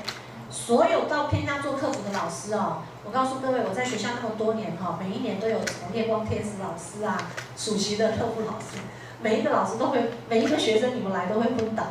为什么？我们的孩子一定很皮，一定很皮。他有几个特点坐不住，然后呢，对你讲的那些话哈，如果抓不到兴趣，他就是一直做他的。然后难得如果你有一些他有兴趣，他才会听。好那所以呢，我通常都会跟我们的老师这样说，因为我到蒂摩尔哈，我第一我有同时同时申请两位 TFT Teach for Taiwan 为台湾人教的老师，我申请两位，好，那这些老师他有什么特质？可能你们未来也会去哦，哦，他们有什么特质呢？热忱，非常有热忱，打不死的蟑螂，当然有些去一年就被打死了。但是我要分享的就是，我我举个例子，有一位老师叫果果老师，哦，他呢到我的德文分校，我把他派到那个德文分校，就是很偏远的学校，那一定要住宿，对不对？好，那我要告诉各位，他很聪明，他先忙着做一件事，就是什么？让学生爱他。其实到偏乡很重要的就是你先试着让孩子爱你、崇拜你。那你要做什么事，学生才会爱你、崇拜你？我告诉各位，我教书那么多年，如果我做问卷调查，你们知道第一名是谁吗？每一次学校的第一名绝对是男老师，不是因为男生就最受欢迎，而是男生有一个特质，是小朋友觉得最重要的，你知道是什么吗？会带他们出去玩、运动，通常女生都做不到。其实小朋友很简单，他很喜欢一个会陪着他玩、陪着他运动，就算跑二十圈，他也觉得很开心。哎，就很无聊，但他也会很开心。好，那我我的意思是说，你得去。那有一些老师是什么呢？例如你们会跳那个街舞，啊，有的老师会跳街舞的，也是马上哇！我告诉你，他走到哪里，就一群学生粉丝就跟着他。你得创造让学生崇拜你这件事。那学生一旦崇拜你，你就是像个大哥哥、大姐姐，你就要开始定规矩。那孩子因为崇拜你，你定了规矩，他就会听。那这样子有规矩，他愿意听之后，我告诉各位，那个果果老师他们的班在德文分校，他的学生才五个，你知道吗？他第一学期，因为果果以前是台北在补习班教英文的，他五个学生哈。第一学期他就是教英文，他告诉学生下一学期我们要全英语上课，他做到了，因为他第一次要全英语的时候，特别叫我来来做教学官，我在旁边看。然后我要告诉各位为什么能做到，因为果果老师告诉我，他的学生哈，第一那时候月考就是第三次月考，英文哦全班只有五个哦，全班五个哦，我绝对不骗各位。五个，其中有四个考一百分。我们本校跟分校是同一张考试卷，然后其中有一个就是资质比较差一点的，也考了八十几分。那怎么做到的？因为学生很爱他，崇拜他，他就一天到晚带学生玩，陪学生，但是他也定规矩。然后呢，那些学生是到什么程度爱他？会早上去敲门，老师起来了，起来了，我来了。然后说我要写功课，就要把老师拖出来。那我我的意思说，孩子哈，孩子，尤其是偏乡的孩子，我告诉各位，我看到现在哈，全世界的人种啊，真的没有所谓的智力高下，文化没有优劣，只有差异。真的，其实城乡也没有差距，只是差异。那你一旦认清这个差异，造成有一些非主流的地区，它有一些落后的时候，我觉得我们是国家也好，老师也好，我们应该要用更大的爱心，更多的一些想法，去弥补这样的一个不足。要不然哈，我还是要回到，真的，我们生活在同一个区域哈，只要有人不幸福，他永远不会造成我们得到幸福，这是真的。所以很期待哈，就是呃，我们资源多的人，我们一定要能够去把我们的资源或者我们的爱心、耐心哈，多一点的分配给这些还没有办法达到跟我们一样的人。好，那这个是我的期待哈。好，谢谢，谢谢。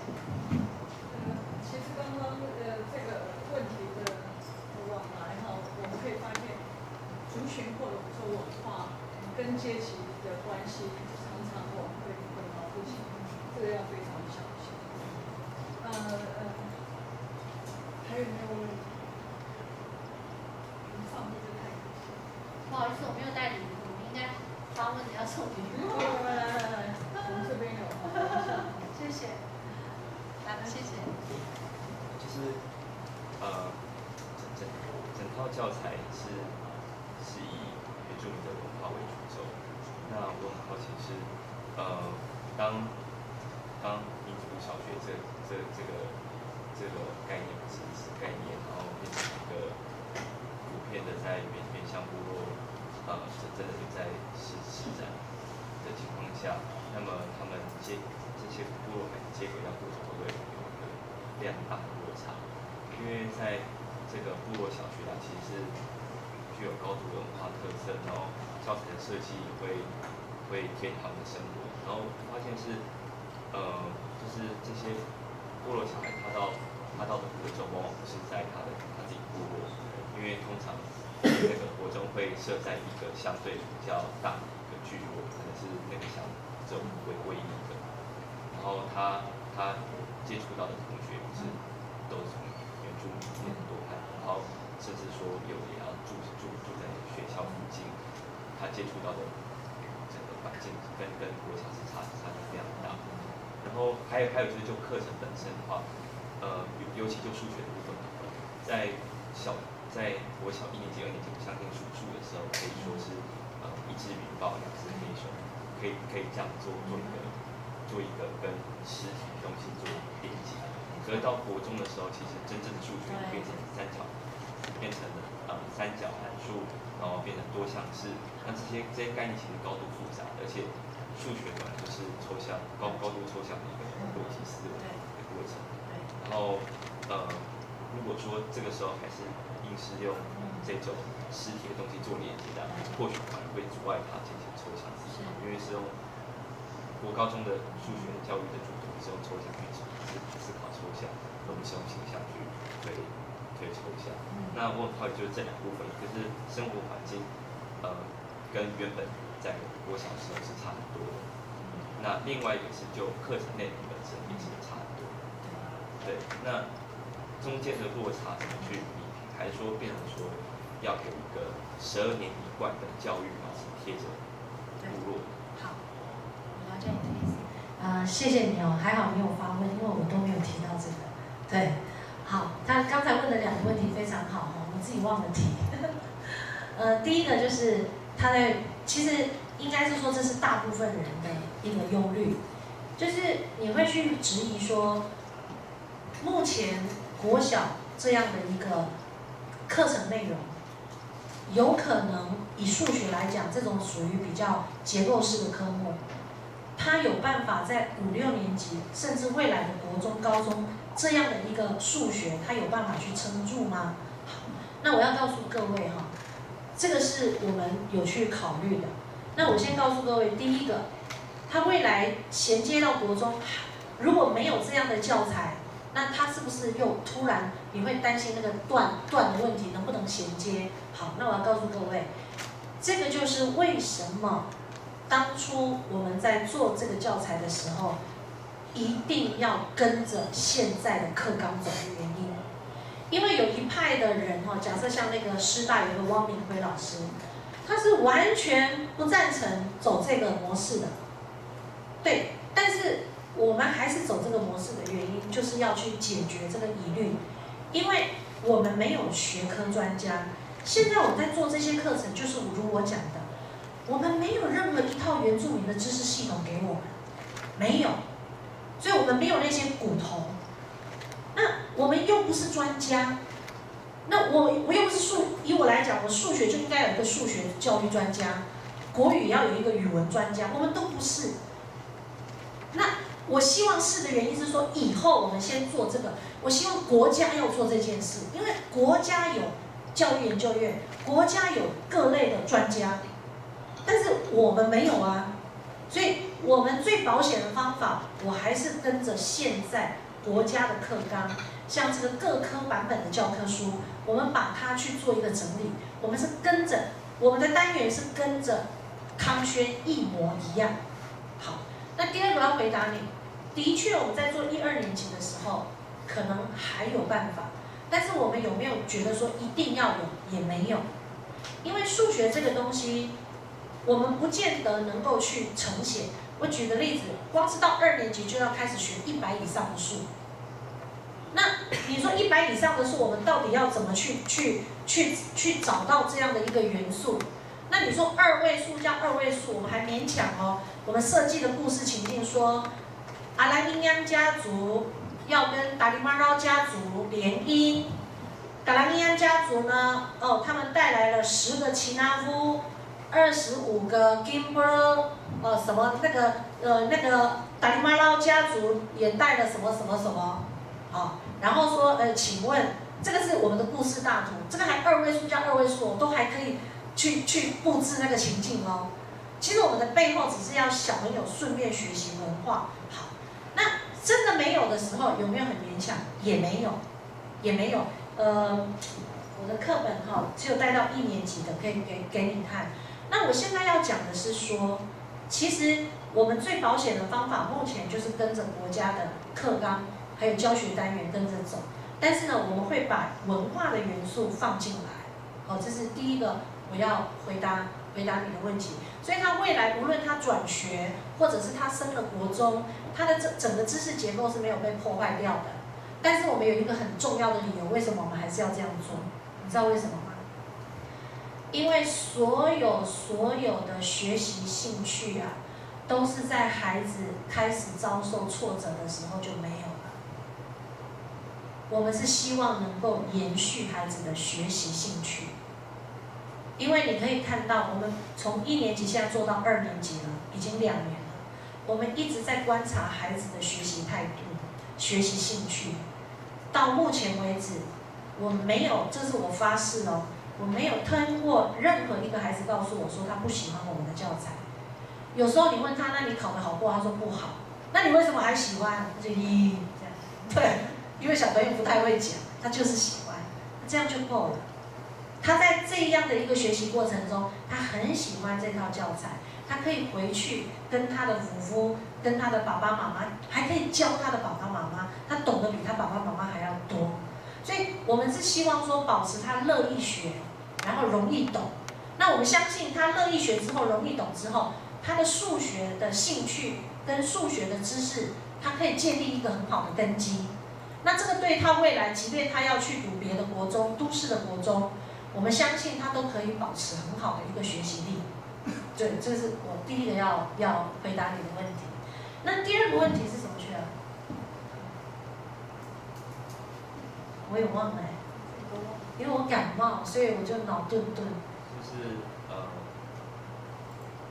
就是以就是呃，部落小孩已经习习惯于呃这套教材的的运作，然后也是很习惯学习呃向向大自然学习，像独路学习，然后可是到国中的时候又是。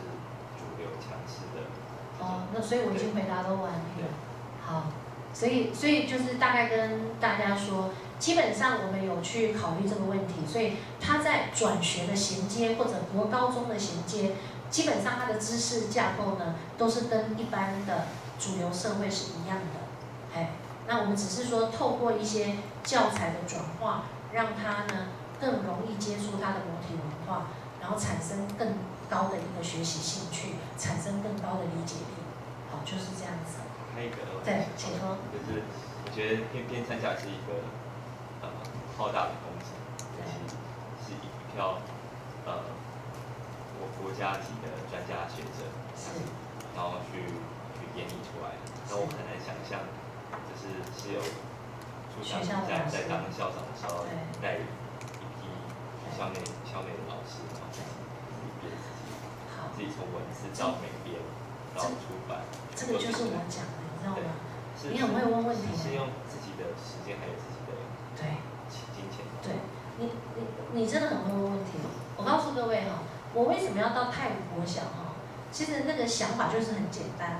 我们泰武国小以前是平通，不不什么都不好的学校，连自己乡内的国语文竞赛哈，连都是最后一名。我们太武乡有。三间国小，但是其中有一间本校，还有两间分校，所以一共严格来讲是一二三四六间学校。我们每次乡内的竞赛哈，大概这个像国语文竞赛都是默默名，哦，那去了之后，马上我们学生都是哦，演讲比赛前两名啊，什么，嗯，都都都突飞猛进。好，其实我只是想要让老师去冲撞他一个观念。就是孩子的可塑性很强，没有教不会的孩子，只是我们还没有找到方法。我我只是希望大家了解，就是什么样的地方的孩子哈，他其实孩子的可塑性是很大的。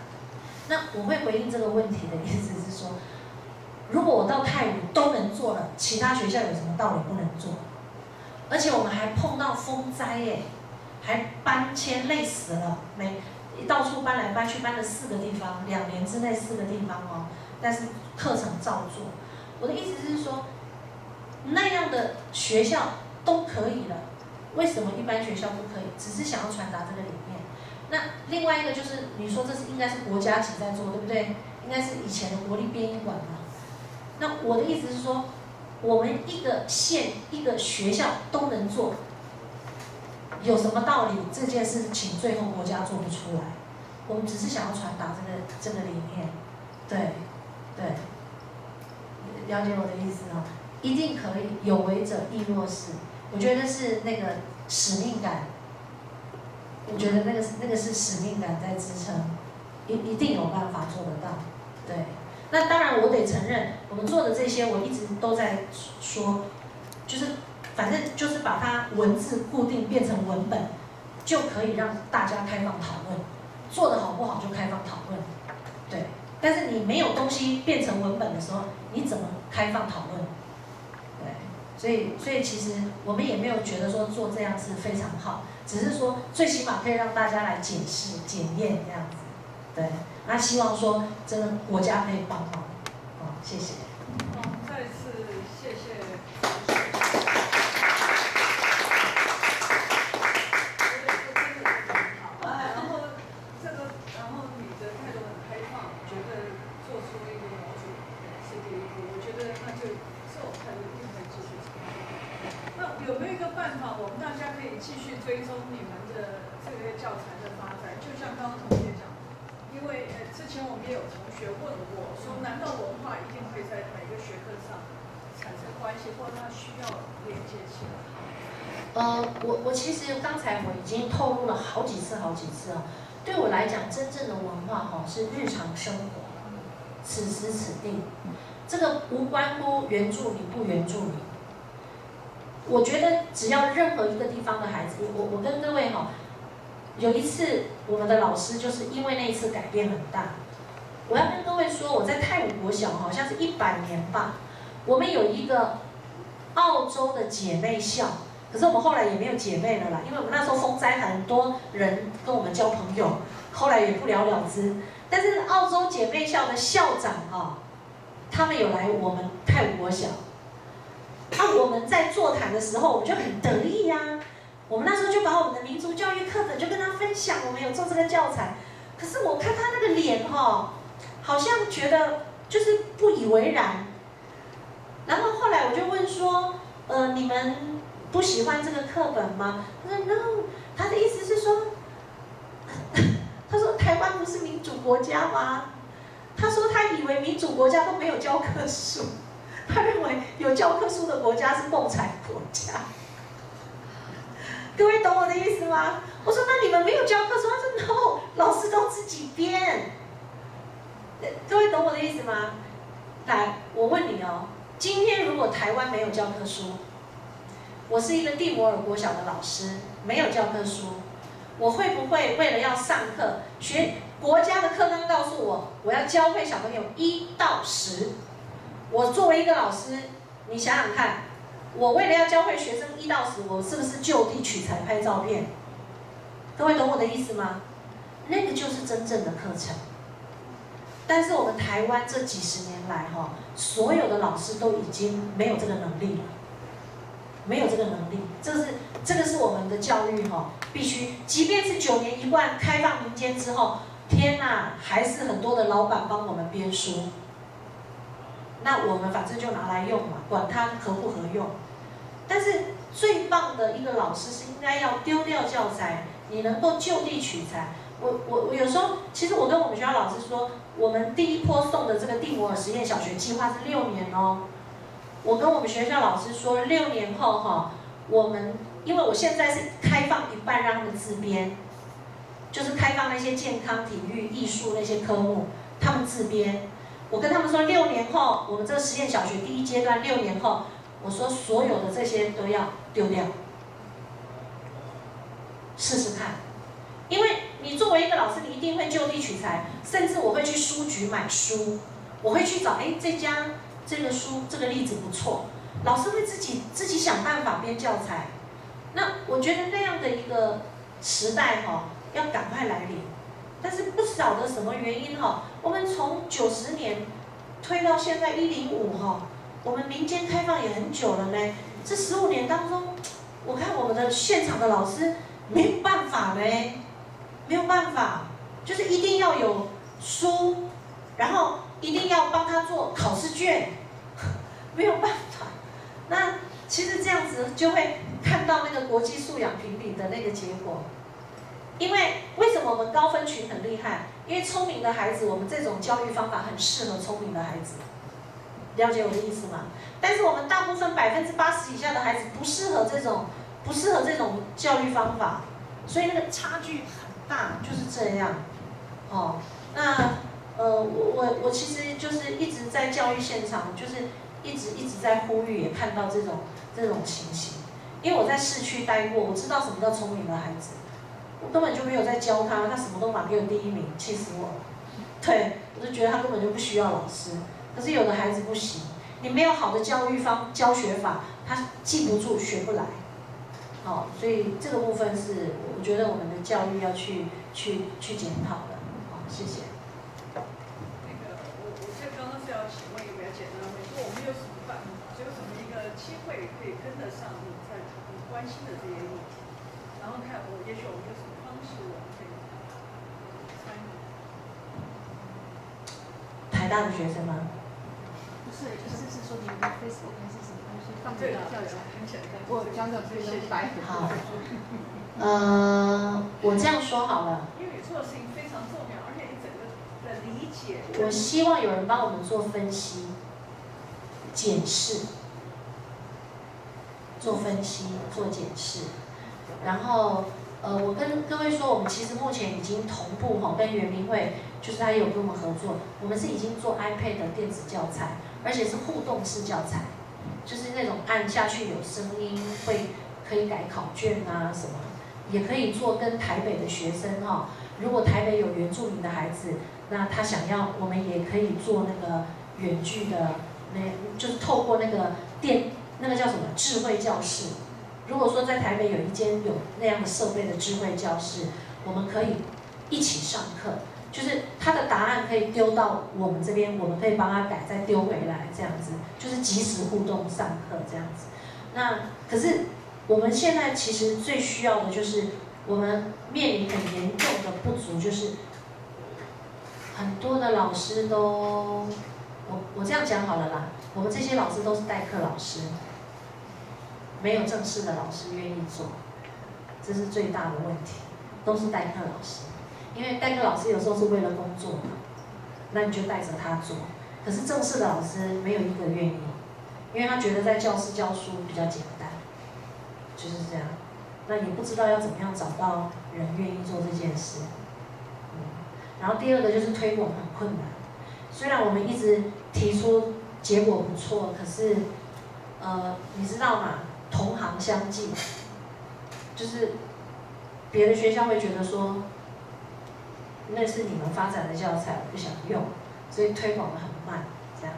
哎，大概目前遇到最大的困难就是找不到老师愿意来做这件事。